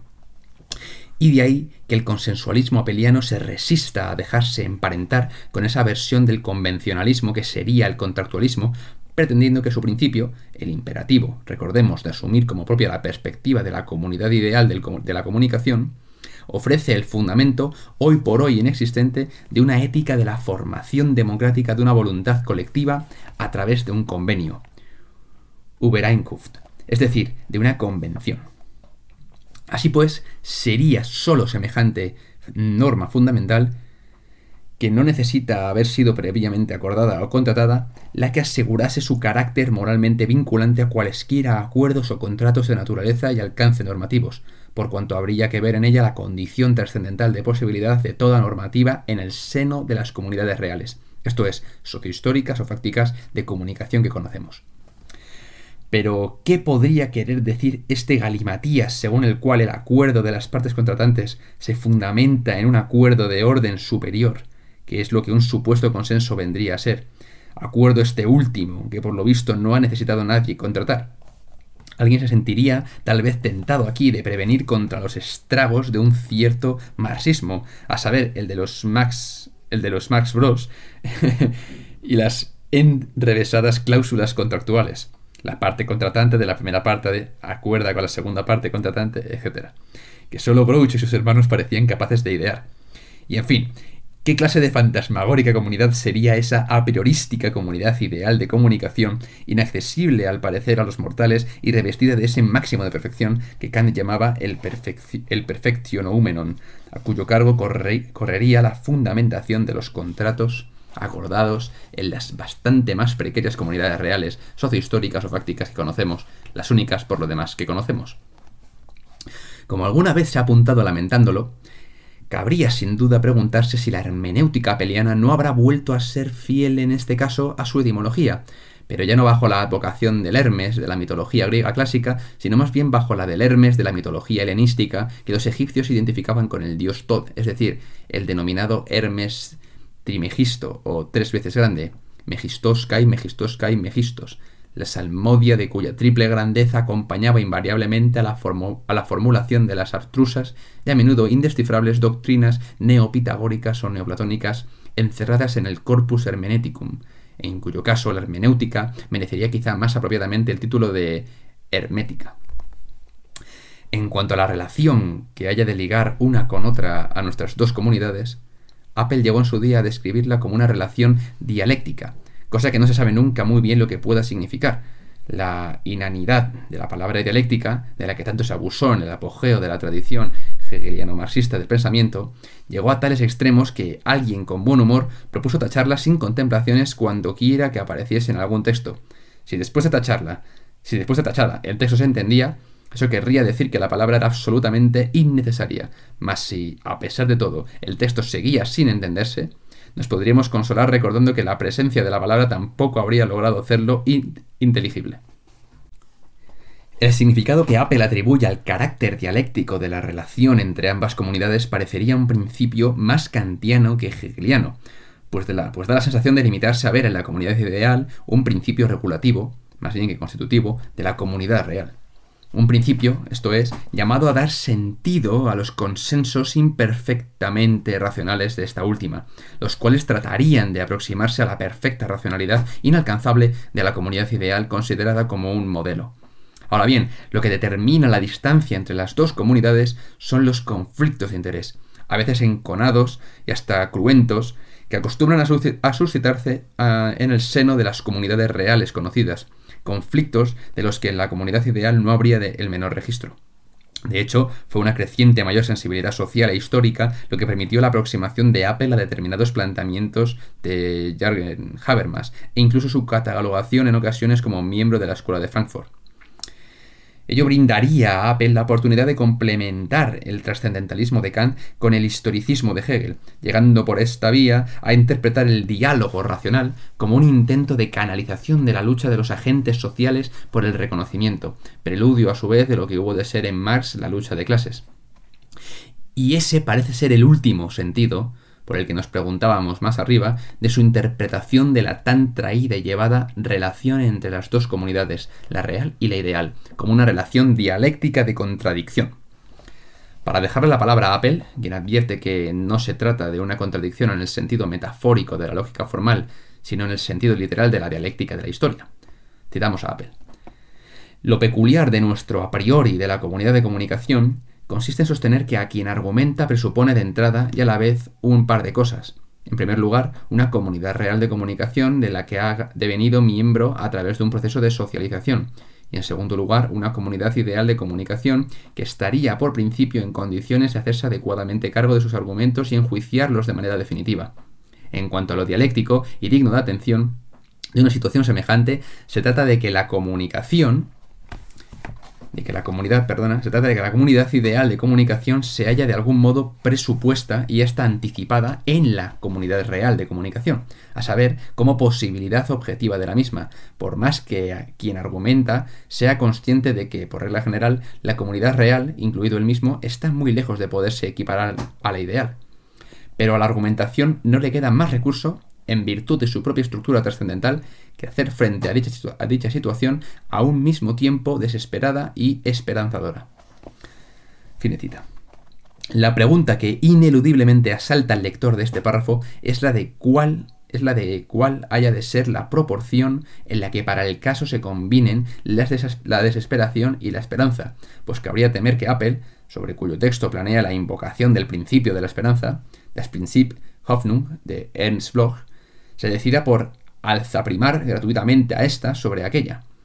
Y no hay que olvidar que la esperanza así entendida es a la postre una virtud teologal más bien que intramundana. En el mejor de los casos, la esperanza de que la comunidad ideal acabe por realizarse en la real sería una esperanza escatológica que remite al final de los tiempos y la supuesta contradicción dialéctica o contraposición entre la comunidad real y la ideal se hallaría resuelta de antemano si se admite que el diálogo asimétrico, trasunto de la asimetría, distribución del poder y la fuerza entre los miembros de las comunidades reales al uso, solo cobra sentido en la medida en que ese diálogo anticipe la asimetría perfecta del diálogo en el seno de una comunidad también perfecta. ¿Y cómo la podría anticipar nadie si no es luchando para acabar realmente, más bien que idealmente, con las asimetrías, para lo que acaso se requiera algo más que diálogo. Más si, por el contrario, damos en suponer que nuestras imperfectas comunidades reales se habrán de encaminar indefectiblemente a la perfecta comunidad ideal, ya anticipada en ellas como si se tratara del desenlace natural de su progresión a la racionalidad, ¿qué garantía trascendental cabría ofrecer por lo demás de un tal progreso histórico? Lo que antes se nos presentaba como un principio regulativo acabaría por convertirse en un principio también constitutivo, a saber, a la larga, in the long run, evoquemos a Pierre una vez más. Y cuando llegue la hora de aquel consenso universal en que la trascendentalidad, en que la trascendentalidad y la historicidad se acabarían dando la mano para satisfacción de Apple y sus clásicos. Añadamos, entre paréntesis, que tamaño consensus omnium en que se abrazarían Pierce y Bloch junto con Apple, claro, y Tutti Quanti, únicamente admite parangón con la apocatástasis paulina. Esto es, con el multitudinario retorno a Dios de las almas vueltas a congregarse en su regazo tras haber vagado dispersas a través del tiempo cósmico, o a una escala más modesta, con el camarote de los hermanos Marx, Karl Marx, incluido también por esta vez en la familia, acompañado de Hegel y váyase a saber de qué otras compañías. Bien miradas las cosas, sin embargo, la pretendida distancia que separa, según Apple, a sus dos comunidades, la real que todos damos por, por, existente y conocida, y la ideal que solo existe en su imaginación, quizás no sea sino la destinada a separar el ser de la primera y aquello que sus miembros consideren que es su deber moral deber moral que no hay por qué ubicar en el otro mundo, distinto de este, como lo sería el supuesto mundo del deber ser, ni como mundo no huménico de a, lo Kant, ni mucho menos como el, el, escatón o el, ultimum hegeliano marxista del, del de Bloch. Puesto que, como Antonio Machado atribuía a sí mismo a Juan de Mairena, lo que llamamos mundo del deber ser se reduce, en definitiva, a la expresión de nuestra insatisfacción o nuestro descontento con lo que este mundo es, es decir, con lo que hay en este mundo o con lo que no hay en él, pero juzgamos que debiera hacerlo. A verlo. Lo engañoso del trascendentalismo, que acostumbra de ordinario a poner la carretera delante de los bueyes, la carreta delante de los bueyes, consiste justamente en idealizar la realidad, cuya condición de posibilidad trata de sentar en lugar de animarnos a realizar aquellos ideales que estimemos que deberían ser realizados. Y reparar en ello puede ahorrarnos el viaje al castillo de Irás y no volverás del trascendentalismo, así como las onerosas alforjas que se precisan para consumar semejante hazaña.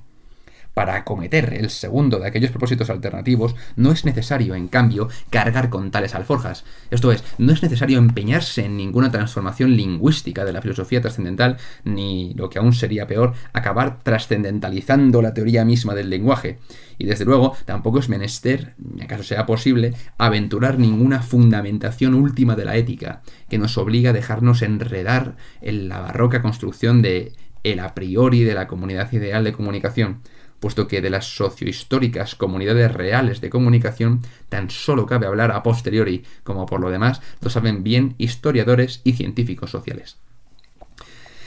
Desde su familiaridad con estos últimos, Habermas, a quien hace un momento se aludía, ha compartido con Apple su interés por las cuestiones fundamentales, pero renunciando definitivamente a cualquier peleidad en materia de fundamentaciones últimas. Así, en su texto Ética del Discurso, nota sobre un programa de fundamentación, recogido en Conciencia Moral y Acción Comunicativa del 83, y mitigando de pasada el grado de su trascendentalismo o cuasi trascendentalismo, del que por nuestra parte haremos caso omiso en la sumaria mención que sigue de su posición ante el tema que nos ocupa. Habermas adhiere allí a la ya consabida concepción de la racionalidad como argumentación, que por su parte desarrolla en dependencia de y en controversia con la lógica de la argumentación de Tolmin. Vamos a la nota 8. Jan Habermas, Diskur, Diskursitzen Notizen zu einen Berundungsprogramm en Moralbewusstsein und Kommunikatives Handeln. Para Habermas, esa lógica de la argumentación o del discurso sería una lógica pragmática, más bien que sintáctica o semántica, que se encarga de determinar en qué consiste la capacidad de convencimiento, Triftigkeit, de los argumentos en orden a la obtención discursiva de un consenso en torno a un juicio dado. Un argumento vendría a esquematizarse, a grandes rasgos, como el engarce de una conclusión con una o más premisas que le sirven de garantía en un sentido, algo más fuerte, que la simple deducibilidad de, aquella a partir de estas. Pues para reputar de convencente a un argumento se requiere tener en cuenta el contenido sustantivo de las mismas y no prescindir de él como lo hace la lógica formal. Ahora bien, la validez del argumento, supongamos un argumento moral en nuestro caso, tampoco puede descansar en la confianza depositada en una institución social como la moral vigente en nuestra comunidad, pues ello equivaldría a confundir confusión en la que a su juicio incurre la interpretación tolminiana del asunto, el correlato institucional, institutionelle Aussprachen, con la argumentación con su fuerza generadora de consenso en virtud de su articulación interna, Argumentationsform, Habermas, 87. En última instancia, esa articulación descansa en un principio que para Habermas no es otro que el llamado principio de universalización, kantianamente destinado a permitir colmar la, aspiración de nuestras máximas morales a convertirse en normas morales o leyes universales, esto es, capaces de regir más allá de la moralidad institucionalmente vigente en nuestra comunidad. Dejando para un poco más adelante al principio de universalización, la pregunta ¿qué debo hacer? es para Habermas de índole muy distinta a la de las preguntas ¿qué quiero hacer? o ¿qué puedo hacer? Mientras que las respuestas a las dos últimas no involucran para nada la demanda de razones justificatorias y se agotan en la expresión de mi deseo o de mis posibilidades de hacer algo, lo característico de los juicios morales que sirven de respuesta a la primera pregunta es que no solamente admiten, sino exigen una justificación por medio de razones. Como lapidariamente lo expresa Habermas, deber hacer algo, etwas tun sollen, significa ni más ni menos que tener razones para hacerlo, Gründe haben etwas zu tun lo que no solamente se supone que aclara el sentido de la pregunta ¿qué debo hacer?, sino también el de la respuesta. En efecto, y de acuerdo con lo, con lo antedicho, a saber que los juicios morales que responden a la pregunta ¿qué debo hacer? exigen una justificación por medio de razones, lo que debo hacer será aquello que tengo razones para hacer. Pero las consideraciones relativas a la pregunta ¿qué debo hacer? resultan perfectamente extensibles a la pregunta ¿qué debemos hacer? de suerte que también en el plano de las decisiones colectivas, no menos que en el de las individuales, lo que debemos hacer será aquello que tenemos razones para hacer. Y aquí es donde entraría en acción el principio encargado de justificar dichas decisiones, es decir, el principio de universalización que formulará Kant por medio del imperativo categórico que prescribe. Obra solo según una máxima tal que puedas querer al mismo tiempo que se torne ley universal. Formulación esta monológica que Habermas de acuerdo con el sesgo que sabemos acostumbrado en la ética comunicativa o discursiva, prefiere reformular dialógicamente. Nota 9. Habermas, 1987, donde remite la interpretación del principio kantiano de universalización por parte de Thomas McCarthy en The Critical Theory of Jürgen Habermas. Haciéndole decir, en lugar de considerar como válida para todos los demás cualquier máxima que quieras ver convertida en ley universal, somete tu máxima a la consideración de todos los demás con el fin de hacer valer discursivamente su pretensión de universalidad. Una reformulación esta, precisa Habermas, en la que el peso se desplaza de lo que cada uno podría querer sin contradicción que se convierta en ley universal, a lo que todos de común acuerdo quieran ver convertido en ley universal. Pero hagamos otro pequeño inciso antes de proseguir con el principio de universalización. De la pregunta ¿qué debo, debemos hacer? a la que con su ayuda tratábamos de responder, se ha podido decir que no agota el repertorio de las preguntas éticas fundamentales, ni tan siquiera desde el punto de vista deontológico en el que se confina la ética comunicativa o discursiva. Wittgenstein, por ejemplo, nunca habría sospechado que lo estaba incrementando, como en rigor lo hizo, al formular la suya. ¿Y qué si no hago lo que debo? Contra lo que ha sido a veces sostenido, su designio no era exactamente el de poner en duda la fundamentalidad de la pregunta kantiana. De hecho, su propia pregunta solo resultaba aplicable para él a los imperativos hipotéticos, o juicios de valor relativos, como prefería llamarlos, del tipo debes comportarte decentemente si quieres causar una buena impresión, pero jamás a los imperativos categóricos, o como los, o como los llamaba juicios de valor absolutos, del tipo debes comportarte decentemente en lugar de hacerlo como una mala bestia. Nota 10. La formulación originaria de la pregunta de Wittgenstein se encuentra en el Tractatus Logico Philosophicus,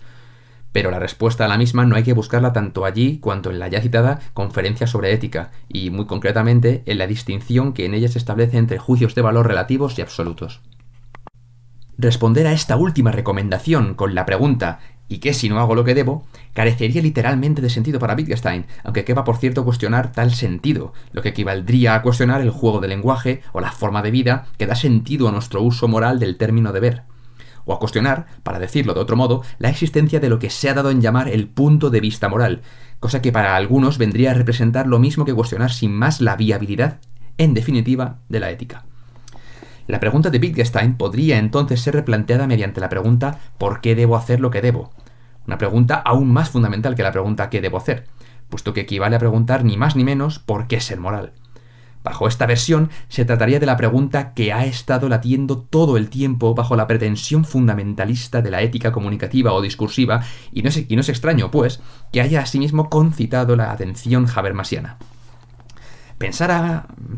pensar a Wittgenstein lo que pensara, la idea de cuestionar el punto de vista moral no es impensable, y semejante cuestionamiento es lo que a fin de cuentas se haya envuelto en la interrogación ¿por qué ser moral? Pero habida cuenta de que si deber hacer algo significa para Habermas tener razones para hacerlo, ser moral significaría ser racional, la interrogación ¿por qué ser moral? implicará en definitiva interrogarse ¿por qué ser racional? Y Habermas bordea en este punto la tentación de sucumbir a la estrategia del tu Esto es, la tentación de acallar a quien pregunta ¿por qué ser racional? con la observación inequívocamente apeliana, según nos sea familiar, de que al preguntar tal cosa está pidiendo razones y consiguientemente dando por presupuesta la racionalidad que se pregunta que, su pregunta parecía poner en entredicho. Habermas, 1985.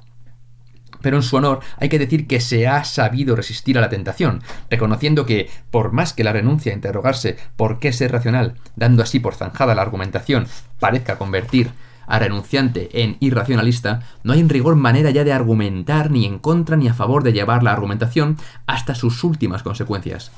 Y todo ello sin perjuicio de que uno mismo continúe manteniendo imperturbable su propia opción por la racionalidad, así como su disposición a proseguir la práctica argumentativa donde quiera y cuando quiera que le sea dado hacerlo, punto este en el que subsiste un residuo de decisión ineliminable que no admite ser tratado argumentativamente. Lejos de incurrir en ningún irracionalismo, como tan apresuradamente se echaba en cara páginas atrás al racionalista crítico, quien opta por la racionalidad no está llevando a cabo un acto irracional de fe en la razón, sino sencillamente un acto de buena voluntad en la acepción kantiana de la expresión. Y el asimismo kantiano primado de la razón práctica no tiene otro cometido a este respecto que el de mover al sujeto de aquella opción a ejercitar prácticamente lo que tal vez cabría llamar su voluntad de racionalidad. Muguerza, 1997. Una voluntad de racionalidad, está llamada a concretarse, como si no sería posible ejercitarla, en ese acto de decisión individual en que ha de consistir un acto de buena voluntad. Aun cuando Habermas no se ha mostrado hasta la fecha demasiado dispuesto a concederlo, cuanto acabamos de exponer no puede por menos de ejercer alguna repercusión sobre su tratamiento del principio de universalización. Cuando Habermas lo, reformula, eh, cuando Habermas lo reformulaba, según vimos, como la recomendación de someter cualquier máxima que alguien quiera ver convertida en ley universal a la consideración de todos los demás con el fin de hacer valer discursivamente su pretensión de universalidad, ¿qué es lo que habremos de entender ahí por discursivamente? Incluso quien sostenga, como el que esto escribe, que dicho adverbio solo admite su traducción por medio del adverbio democráticamente, tropezará, con el obstáculo de que la democracia deliberativa a que Habermas presta su adhesión tendría probablemente más que ver con la interpretación del resultado de la deliberación pública en términos de un consenso racional a lo que a lo Apple, que los, el simple recuento de los votos después de efectuada una consulta electoral sobre el asunto debatido.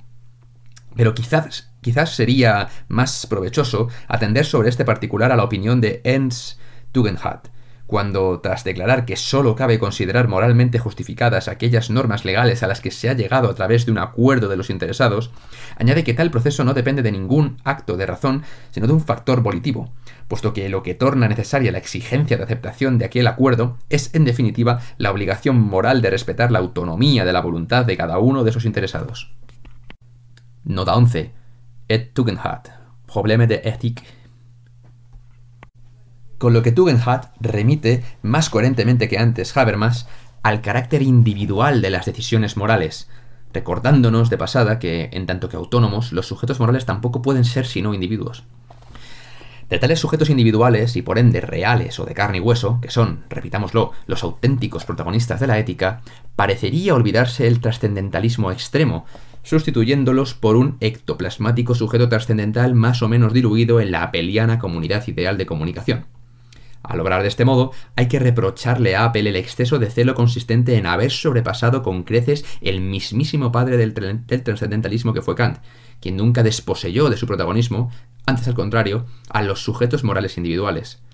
Por más artificiosamente que el propio Kant, el Kant de la crítica de la razón práctica, se esforzase en someter a esta última a una ortopedia hasta cierto punto, solo hasta cierto punto semejante a la de la crítica de la razón pura, encargada de articular los rígidos mecanismos de ese corsé de hierro que vendría a ser la conciencia de, un supuesto sujeto con mayúsculas,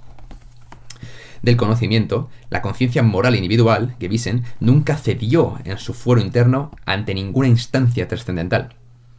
definida en la metafísica de las costumbres a lo San Pablo como la conciencia, Bewusstsein, de un tribunal interior al ser humano, la Gewissen, o conciencia moral del individuo, no parece pender del punto culminante o el pináculo supremo, del höchste Punkt, representado por la conciencia en cuanto tal o en general,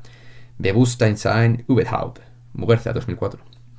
Y es desde luego harto dudoso que quepa hablar de una conciencia moral en cuanto tal, o en general, de una Gewissen Überhaupt que trascienda a los individuos, toda vez que la voz de la conciencia, die Stimme des Gewissens, no es emitida ni escuchada por ningún sujeto moral con mayúscula, sino por una serie de sujetos morales con minúscula, cuya diversidad constata hoy para colmo, tras la muerte de del Dios único,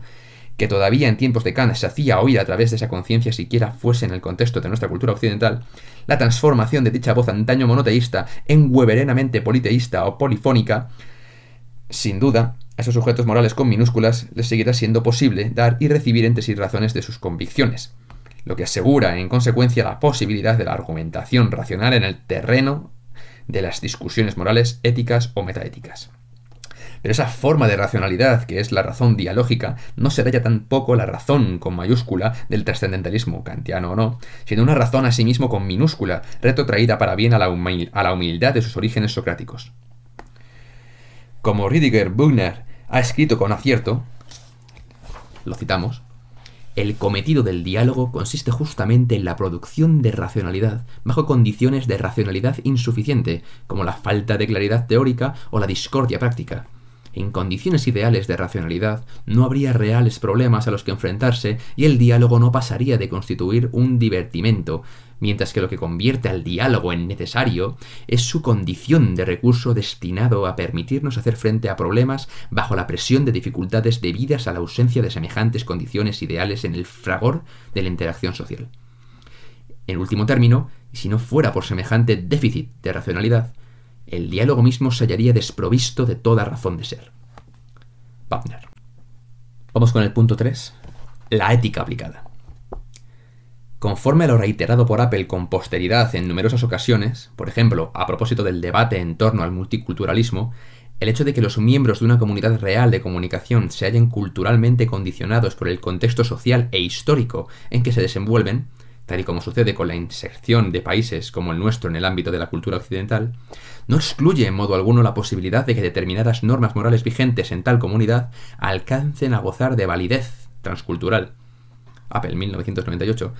que es lo que aconteció en esas exigencias éticas que originariamente fueron los derechos humanos para acabar cobrando luego reconocimiento legal como preceptos jurídicos en buen número de constituciones modernas y finalmente en la Declaración Universal de los Derechos Humanos, aprobada por la Asamblea General de la Organización de las Naciones Unidas en 1948 la cual acordaría otorgar a dichos derechos, siquiera sea sobre el papel, efectiva vigencia planetaria.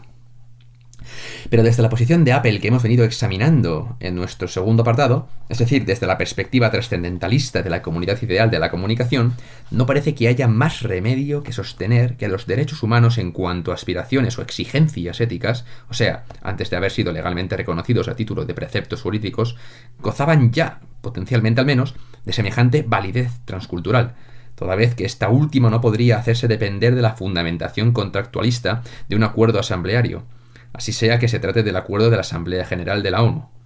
En cuyo caso, y frente al concreto universalismo de la Declaración Universal de Derechos de esta última, no es de extrañar que la posición de Apple haya sido tachada por sus críticos de universalismo abstracto, puesto que se limita a presuponer gratuitamente y por adelantado la universalidad de unos derechos que sólo aquella declaración habría sido capaz de asegurar. De ahí no se sigue, sin embargo, la tesis del contextualismo extremo o comunitarista, según la cual las diferentes concepciones del bien moral que respaldan a esos derechos se hallarían siempre culturalmente contextualizadas, esto es, invariablemente constreñidas en su vigencia a una determinada comunidad real de comunicación y consiguientemente imposibilitadas de trascender los límites de ésta por la vía de la universalización, que sería, en definitiva, lo que explique la diferente concepción de los derechos humanos que se acostumbra a atribuir a diferentes instancias culturales, según sean estas laicas o religiosas, tolerantes o autoritarias, occidentales o orientales, etcétera, etcétera, etcétera. Y aunque Apple detecta certeramente dónde reside la dificultad del problema, aquí en juego, al observar que, citamos a Apple,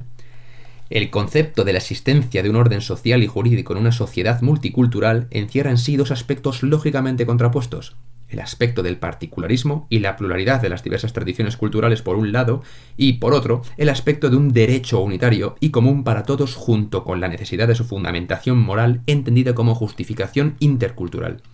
Lo que nos lleva, empero, a preguntarnos cómo conjugar ambos aspectos. Y si el ordenamiento jurídico no solo ha de hallarse presidido por el principio moral básico de la justicia, sino que las múltiples y variopintas tradiciones culturales aludidas implican cada una un sistema de valores dentro del cual se incluye asimismo una versión particular del valor de la justicia. El caso es que no ofrece otra respuesta a esta pregunta que el escasamente creíble consensualismo que antes vimos, desde el que no parece fácil conjurar la amenaza de que la mutua inconmensurabilidad e incluso incompatibilidad cultural de aquellas tradiciones desemboque en un choque de culturas. Amenaza que constituye, por lo visto, la gran novedad con que ha sido obsequiada nuestra especie en los albores del siglo XXI. Ante ello parece preferible la respuesta ofrecida, precisamente desde un sofisticado neocontractualismo, por John Ross, cuando sostiene la primacía política de la justicia sobre las diferentes y presumiblemente discordantes concepciones del bien moral que puedan concurrir en una comunidad determinada. Cuando quiera que en una sociedad de variable amplitud, sea una microcomunidad subnacional, una mesocomunidad nacional o una macrocomunidad supranacional, todas ellas comunidades reales por igual, de comunicación de acuerdo con la jerga de la ética comunicativa o discursiva, coexistan una diversidad de concepciones de lo bueno en el sentido de lo bueno solo para algunos, y surja entre ellas una situación de conflicto, parece razonable acudir a la instancia superior de un acuerdo acerca de lo justo, en el sentido de lo bueno para todos, o como acaso fuera más apropiado decir, de lo mejor posible para todos dadas las circunstancias, capaz de restaurar la coexistencia y asegurar con ello el carácter de sociedad bien ordenada de la comunidad en cuestión. Nota 12. J. Rawls, Political Liberalism, New York, 1993. A ese acuerdo o consenso por superposición, overlapping consensus, que Rawls concibe a la manera de una concordia discourse o concordia discorde, no habría que confundirlo en ningún caso con los consensos apelianos, y si hubiera que darle un nombre que lo distinga de estos últimos, realzando su carácter de consenso fáctico, bastaría darle el nombre de contrato. Como se indicó en su momento, la atención prestada a Apple en las páginas que anteceden del presente capítulo obedece sin más a la importancia de su contribución a la teoría ética contemporánea. Por otra parte, se trata de un pensador bien conocido y estudiado en nuestra lengua, que cuenta además con un considerable número de discípulos y seguidores tanto en Latinoamérica como en España. entre ellos destaca, por su rigor y a un mismo tiempo por su independencia de criterio, una experta en su pensamiento como Adela Cortina, a quien últimamente se debe entre nosotros un sostenido esfuerzo de reflexión acerca de la ética aplicada tan estrecha cuanto críticamente relacionado con la aproximación de Apple a la misma. Si distinguimos una vez más entre moral y ética, como hemos distinguido entre una y otra siempre que lo juzgamos necesario, las cuestiones de que se ocupa la ética aplicada serán cuestiones morales, como las relativas, entre otras muchas, a la práctica biomédica, la transformación del medio ambiente o la organización empresarial, que contribuyen a ensanchar en nuestros días los espacios de discusión sobre los que recae la atención de la ética o filosofía moral. Para quien esto escribe, con opinión no compartida a buen seguro por un crecido número de sus cultivadores, es ahí donde reside la principal contribución de la ética aplicada a la ética, sin más de estos últimos tiempos, y no, o no tanto, en un supuesto giro aplicado de la misma. Nota, 13. Esta última expresión puede encontrarse entre otros lugares en Cortina, 1996. Mas, como quiera que ello sea, no hay sino que aplaudir la discrepancia de la Cortina con el modo como Apple distingue entre sí y relaciona una con otra, alineándolas ordinalmente, las que dan llamar partes A y B de su construcción ética, a saber, la tarea de fundamentación de la corrección de nuestras normas por medio de algún principio ético, parte A, y la aplicación de dicho principio a los diversos géneros de cuestiones morales que, veíamos con la finalidad de procurar su elucidación y, si procede, su resolución. Parte B.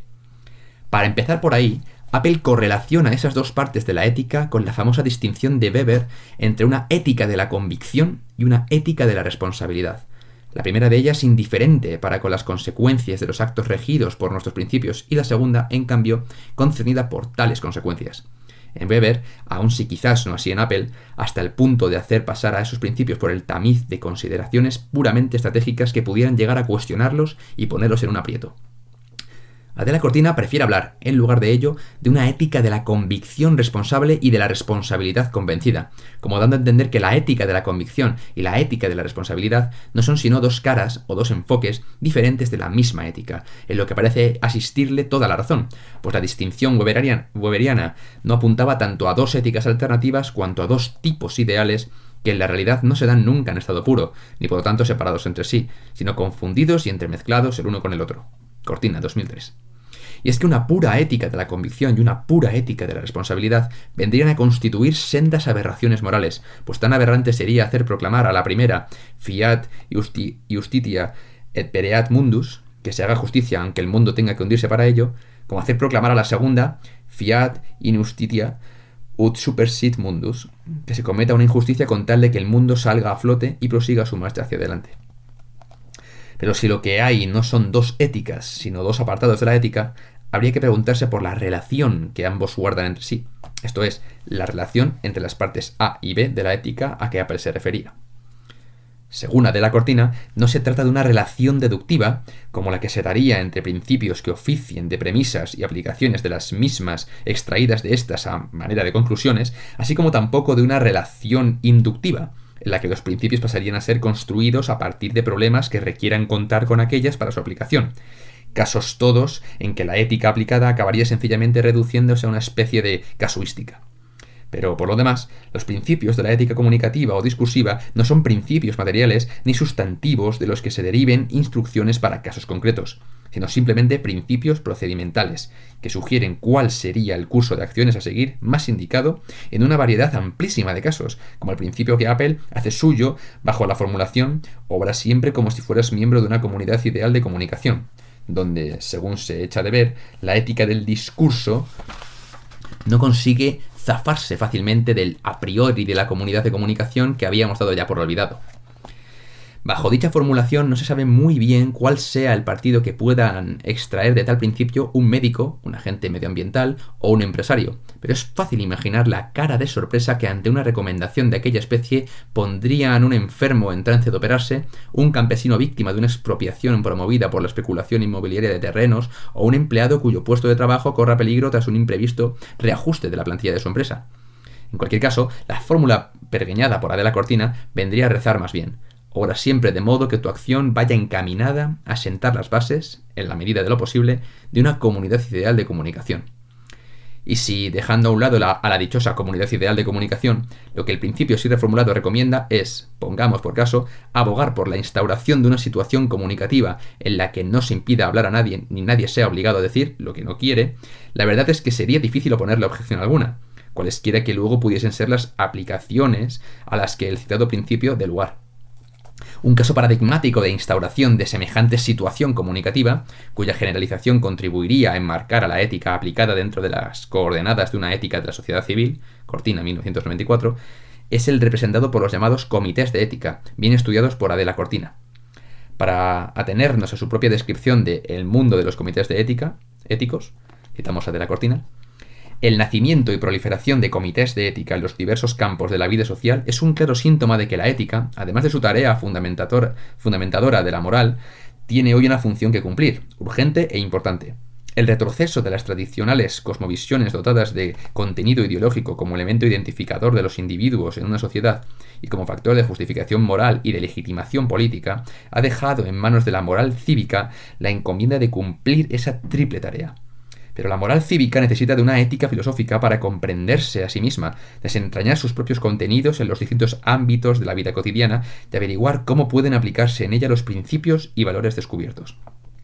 Por eso la ética filosófica debe funcionar como hermenéutica crítica, que indaga en las distintas esferas cómo se modulan los contenidos de una moral cívica, porque no es posible comprender un principio moral si no es desde su aplicación. En esa labor se ve obligada a trabajar codo a codo con los expertos en cada campo y con los afectados por las decisiones morales. Esto es, se ve obligada a dejar de cuando en cuando las aulas y los anaqueles y a respirar el aire de la calle. Lo cual, todo hay que decirlo, la está salvando de la muerte por aburrimiento escolástico. Precisamente la creación de comités de ética es uno de los rasgos expresivos de este florecimiento del que la moral cívica y la ética aplicada vienen haciendo gala desde hace escasas décadas. En cada uno de sus ámbitos, empresarial, financiero, político, informático, sanitario, nacen comités éticos con tareas diversas, como pueden ser la formulación de los principios éticos de una determinada profesión, la redacción de códigos éticos, la supervisión de las actuaciones de los profesionales cuando plantean algún problema moral, el asesoramiento en caso de duda, la formación ética de quienes trabajan en un campo determinado. El mundo de estos comités es enormemente variado y complejo, ya que difieren entre sí no solo por el ámbito profesional en el que surgen, sino sobre todo por la intención de sus creadores. Por lo, por lo demás, los comités éticos rara vez nacen con el objetivo de juzgar y castigar, más propio de los códigos de deontología profesional o del derecho penal que del mundo moral. En definitiva, la moral nunca puede ser impuesta desde fuera. Por eso la tarea prioritaria de un comité ético consiste en crear conciencia en un determinado ámbito profesional de que hay valores morales implicados en su forma de vida y en sus decisiones, que han de ser encarnados si es que quienes desempeñan esa profesión, o la profesión misma, quieren alcanzar lo que alguien llamaría su quicio y su eficacia vital. Cortina, 1996. Por limitarnos a aquel campo en que los comités de ética cuentan ya a estas alturas con una tradición más acendrada, pensemos en el caso de los comités multidisciplinares de ética sanitaria, desde los comités éticos asistenciales, tanto de los pacientes o de sus familiares, como del personal sanitario, hasta los comités nacionales de bioética, creados con el propósito de suministrar asesoramiento sobre aspectos morales de la investigación clínica o la práctica médica. Comités que han dado ocasión a De la Cortina, la idea se remonta a Cortina, 1993, para hablar de una parte C de la ética, a añadir a sus partes A y B, relativa a los procedimientos de toma de decisión. Pero supongamos el caso de una persona que requiere de determinada asistencia sanitaria y a quien se trata de ayudar a tomar una decisión informada. La contrapartida activa, diríamos, del pasivo consentimiento informado, sobre un asunto que le afecta, como la interrupción de un embarazo o la prolongación indeseada de la vida. Como Victoria Camps recientemente ha recordado, que sea lógico buscar el consenso a la hora de tomar conjuntamente decisiones, a la hora del decidir, del Deciding Together, para decidirlo con el título de la obra de Jonathan Moreno, no implica que el consenso sea un valor en sí mismo. Y ello no solo porque una de las características de una sociedad democrática tenga que ser la persistencia de una reserva de crítica y por lo tanto de disenso, sino porque, en última instancia, la voluntad de los afectados ha de ser respetada. Camps 2001. Ahora bien, ¿qué es lo que sucede cuando, respetada esa voluntad a nivel asistencial, cosa que no hay que dar sin más por asumida, comités éticos aparte, pues no todos los profesionales de la salud aceptan de buen grado que el rechazo o la aceptación de un tratamiento sea un derecho del paciente, su ejercicio tropieza con insalvables obstáculos legales, como los que coartan, por ejemplo, la libre voluntariedad en la práctica del aborto o la, autonomotanasia en un país como el nuestro. Por lo pronto, la discusión de esos asuntos tendría que ser desplazada a foros superiores a los comités éticos asistenciales de tal o cual recinto hospitalario, sin excluir su planteamiento al nivel de los comités nacionales de bioética o similares. Cortina, 1996. Mas si, como es de suponer, los obstáculos legales persistieran, ¿No habría entonces que conceder que el problema ha desbordado ya los límites de una ética de la sociedad civil para involucrar forzosamente a la sociedad política, desplazando el asunto privado de lo que era una decisión particular, hasta llegar a hacer de él un asunto público, como sin duda habría de serlo la decisión colectiva requerida para plantear políticamente, no cabe adivinar por qué otra vía, un cambio de legislación en toda regla? E incluso, arrostrando el peligro de abusar del recurso al alfabeto, habría que preguntarse si ello no nos obliga a introducir un cuarto apartado, o parte D, de la ética susceptible de ser apellidada, echando mano de la terminología acuñada por Pablo Ródenas, Ródenas 2004, con el sobrenombre de poliética. Por desgracia, de esta manera, el territorio donde vendrían a confluir la ética pública y la filosofía política. Como quiera que sea, la democracia auténtica, o plena reclamada por Adela Cortina en su libro Ética aplicada y democracia radical, Cortina, 1993, exigiría por todos los indicios la superación, en última instancia, de ese dualismo de sociedad civil y sociedad política en que hoy por hoy se haya instalada la teoría de la democracia bajo la hegemonía del vigente paradigma liberal republicano, encargada de equilibrar el peso respectivo de ambas instancias por medio de la fórmula del compromiso que preside en la actualidad el funcionamiento de la mayor parte de los regímenes democráticos conocidos a saber, la relativa aseguración del ejercicio por igual de las libertades individuales y de la participación de la ciudadanía en plena crisis del estado de bienestar, agravada por el deficiente control, si cabe hablar en tales términos, de los efectos de la globalización económica en todas las escalas de la vida social. Pero una cosa es aspirar a la superación de tal dualismo y otra muy diferente sería darlo sin más por superado la susodicha eh, superación podría orientarse tanto en la dirección de una sociopolitización de la sociedad civil, con la consiguiente subordinación de esta última a la sociedad política y por ende al Estado, y el consiguiente peligro, claro está, de una estatilización más o menos totalitaria de esa sociedad civil, cuanto a la dirección inversa de una sociocivilización de la sociedad política, y por ende del Estado, que consiguientemente contribuya a su puesta bajo el control de la sociedad civil, sin olvidar, por lo demás, que la sociedad civil no se reduce a la sociedad mercantil y que de ella forman parte asimismo fuerzas sociales tales como los sindicatos o numerosas organizaciones no gubernamentales, entre otras. Muguerza 2000. Quienes, aun conscientes de sus riesgos, prefiramos esta segunda fórmula a la primera, lo podríamos hacer, entre otras razones posibles, por ver en ella la manera de que sea la ciudadanía la que controle esa franja intermedia entre las sociedades políticas y civil que es la administración pública y, de manera señalada, la de la justicia, evitando así tanto su indeseable politización cuanto su no menos temible corporativismo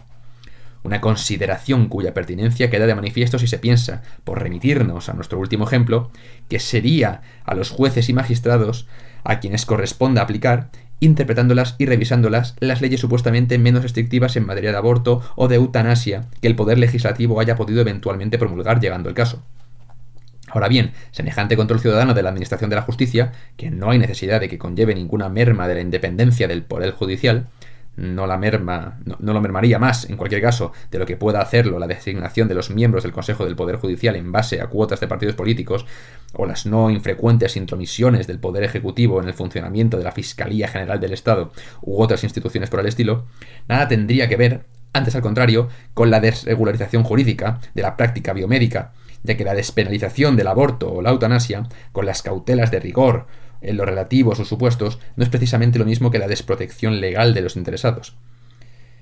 ¿Qué es lo que cabría decir de otros ámbitos de la ética aplicada como el medio ambiente o la empresa, en los que la desregulación jurídica, alentada desde los sectores más crudamente mercantiles de la sociedad civil, dejaría inermes a los recursos naturales frente a la avidez de sus explotadores, así como indefensos a los trabajadores ante la precarización de sus empleos o el incremento del paro? Y en orden a prevenir o combatir esas consecuencias, se precisaría, entre otras movilizaciones de la sociedad civil, la movilización de las organizaciones sindicales, ecologistas y demás, tanto si se ve secundada como si no desde la sociedad política, en la que en cualquier caso habrían de procurar influir. En efecto, la necesidad de recurrir a la política como una mediación inesquivable a la hora de transformar en derechos nuestras aspiraciones y exigencias éticas o morales, recuperemos, antes de concluir este capítulo, la sinonimia de los vocablos ética y moral que les reconocíamos en su, inicio, se dejaría apreciar parejamente en los macrodominios, mesodominios y microdominios de la ética, aplicada o no, con que ya estamos familiarizados. Así sucede, ciertamente, al nivel de la macrocomunidad cosmopolita, donde las Naciones Unidas se encargarán de desarrollar, mediante sucesivos pactos de derechos, el cuerpo de la Declaración Universal con el añadido de nuevas generaciones de derechos humanos, que sumar a los derechos civiles y políticos, como en el caso de los derechos económicos, sociales, culturales, etc., las mesocomunidades nacionales, cuyas constituciones, allí donde se trate de países democráticos, además de firmantes de aquellos pactos, recogerán mejor o peor tales derechos bajo la forma de derechos fundamentales, y las microcomunidades sectoriales, que habrán de permitir la reivindicación de esos derechos ante los tribunales oportunos desde los muy diversos sectores de la sanidad y la educación, la empresa y el trabajo, o la conservación de la naturaleza y el patrimonio artístico, etc. Pero no en todos estos niveles acabamos de reseñar con, que acabamos de reseñar contamos en rigor, en rigor con una sociedad política igualmente consolidada y a diferencia de los dos últimos, en el primero de ellos no solo no cabe hablar, y por fortuna, de un superestado mundial, que haría de nosotros súbditos de la potencia imperial de turno más bien que ciudadanos del mundo, sino tampoco, y esta vez por desgracia, de una auténtica sociedad política cosmopolita, como lo que podrían llegar a vertebrar las Naciones Unidas, de no ser por el menosprecio de que acostumbra a hacerlas objeto la citada potencia imperial, la cual ni tan siquiera se ha dignado suscribir la reciente creación de una Corte Penal Internacional ante el temor de tener un día que redimirle cuentas. Ello no solo amengua seriamente la posibilidad de una vigencia universal del imperio de la ley, convirtiendo en papel mojado la mismísima Declaración Universal de Derechos Humanos, sino cuestiona a la vez el partido a extraer para nuestros efectos de la rausiana primacía de lo justo sobre lo bueno, a la que más arriba saludía.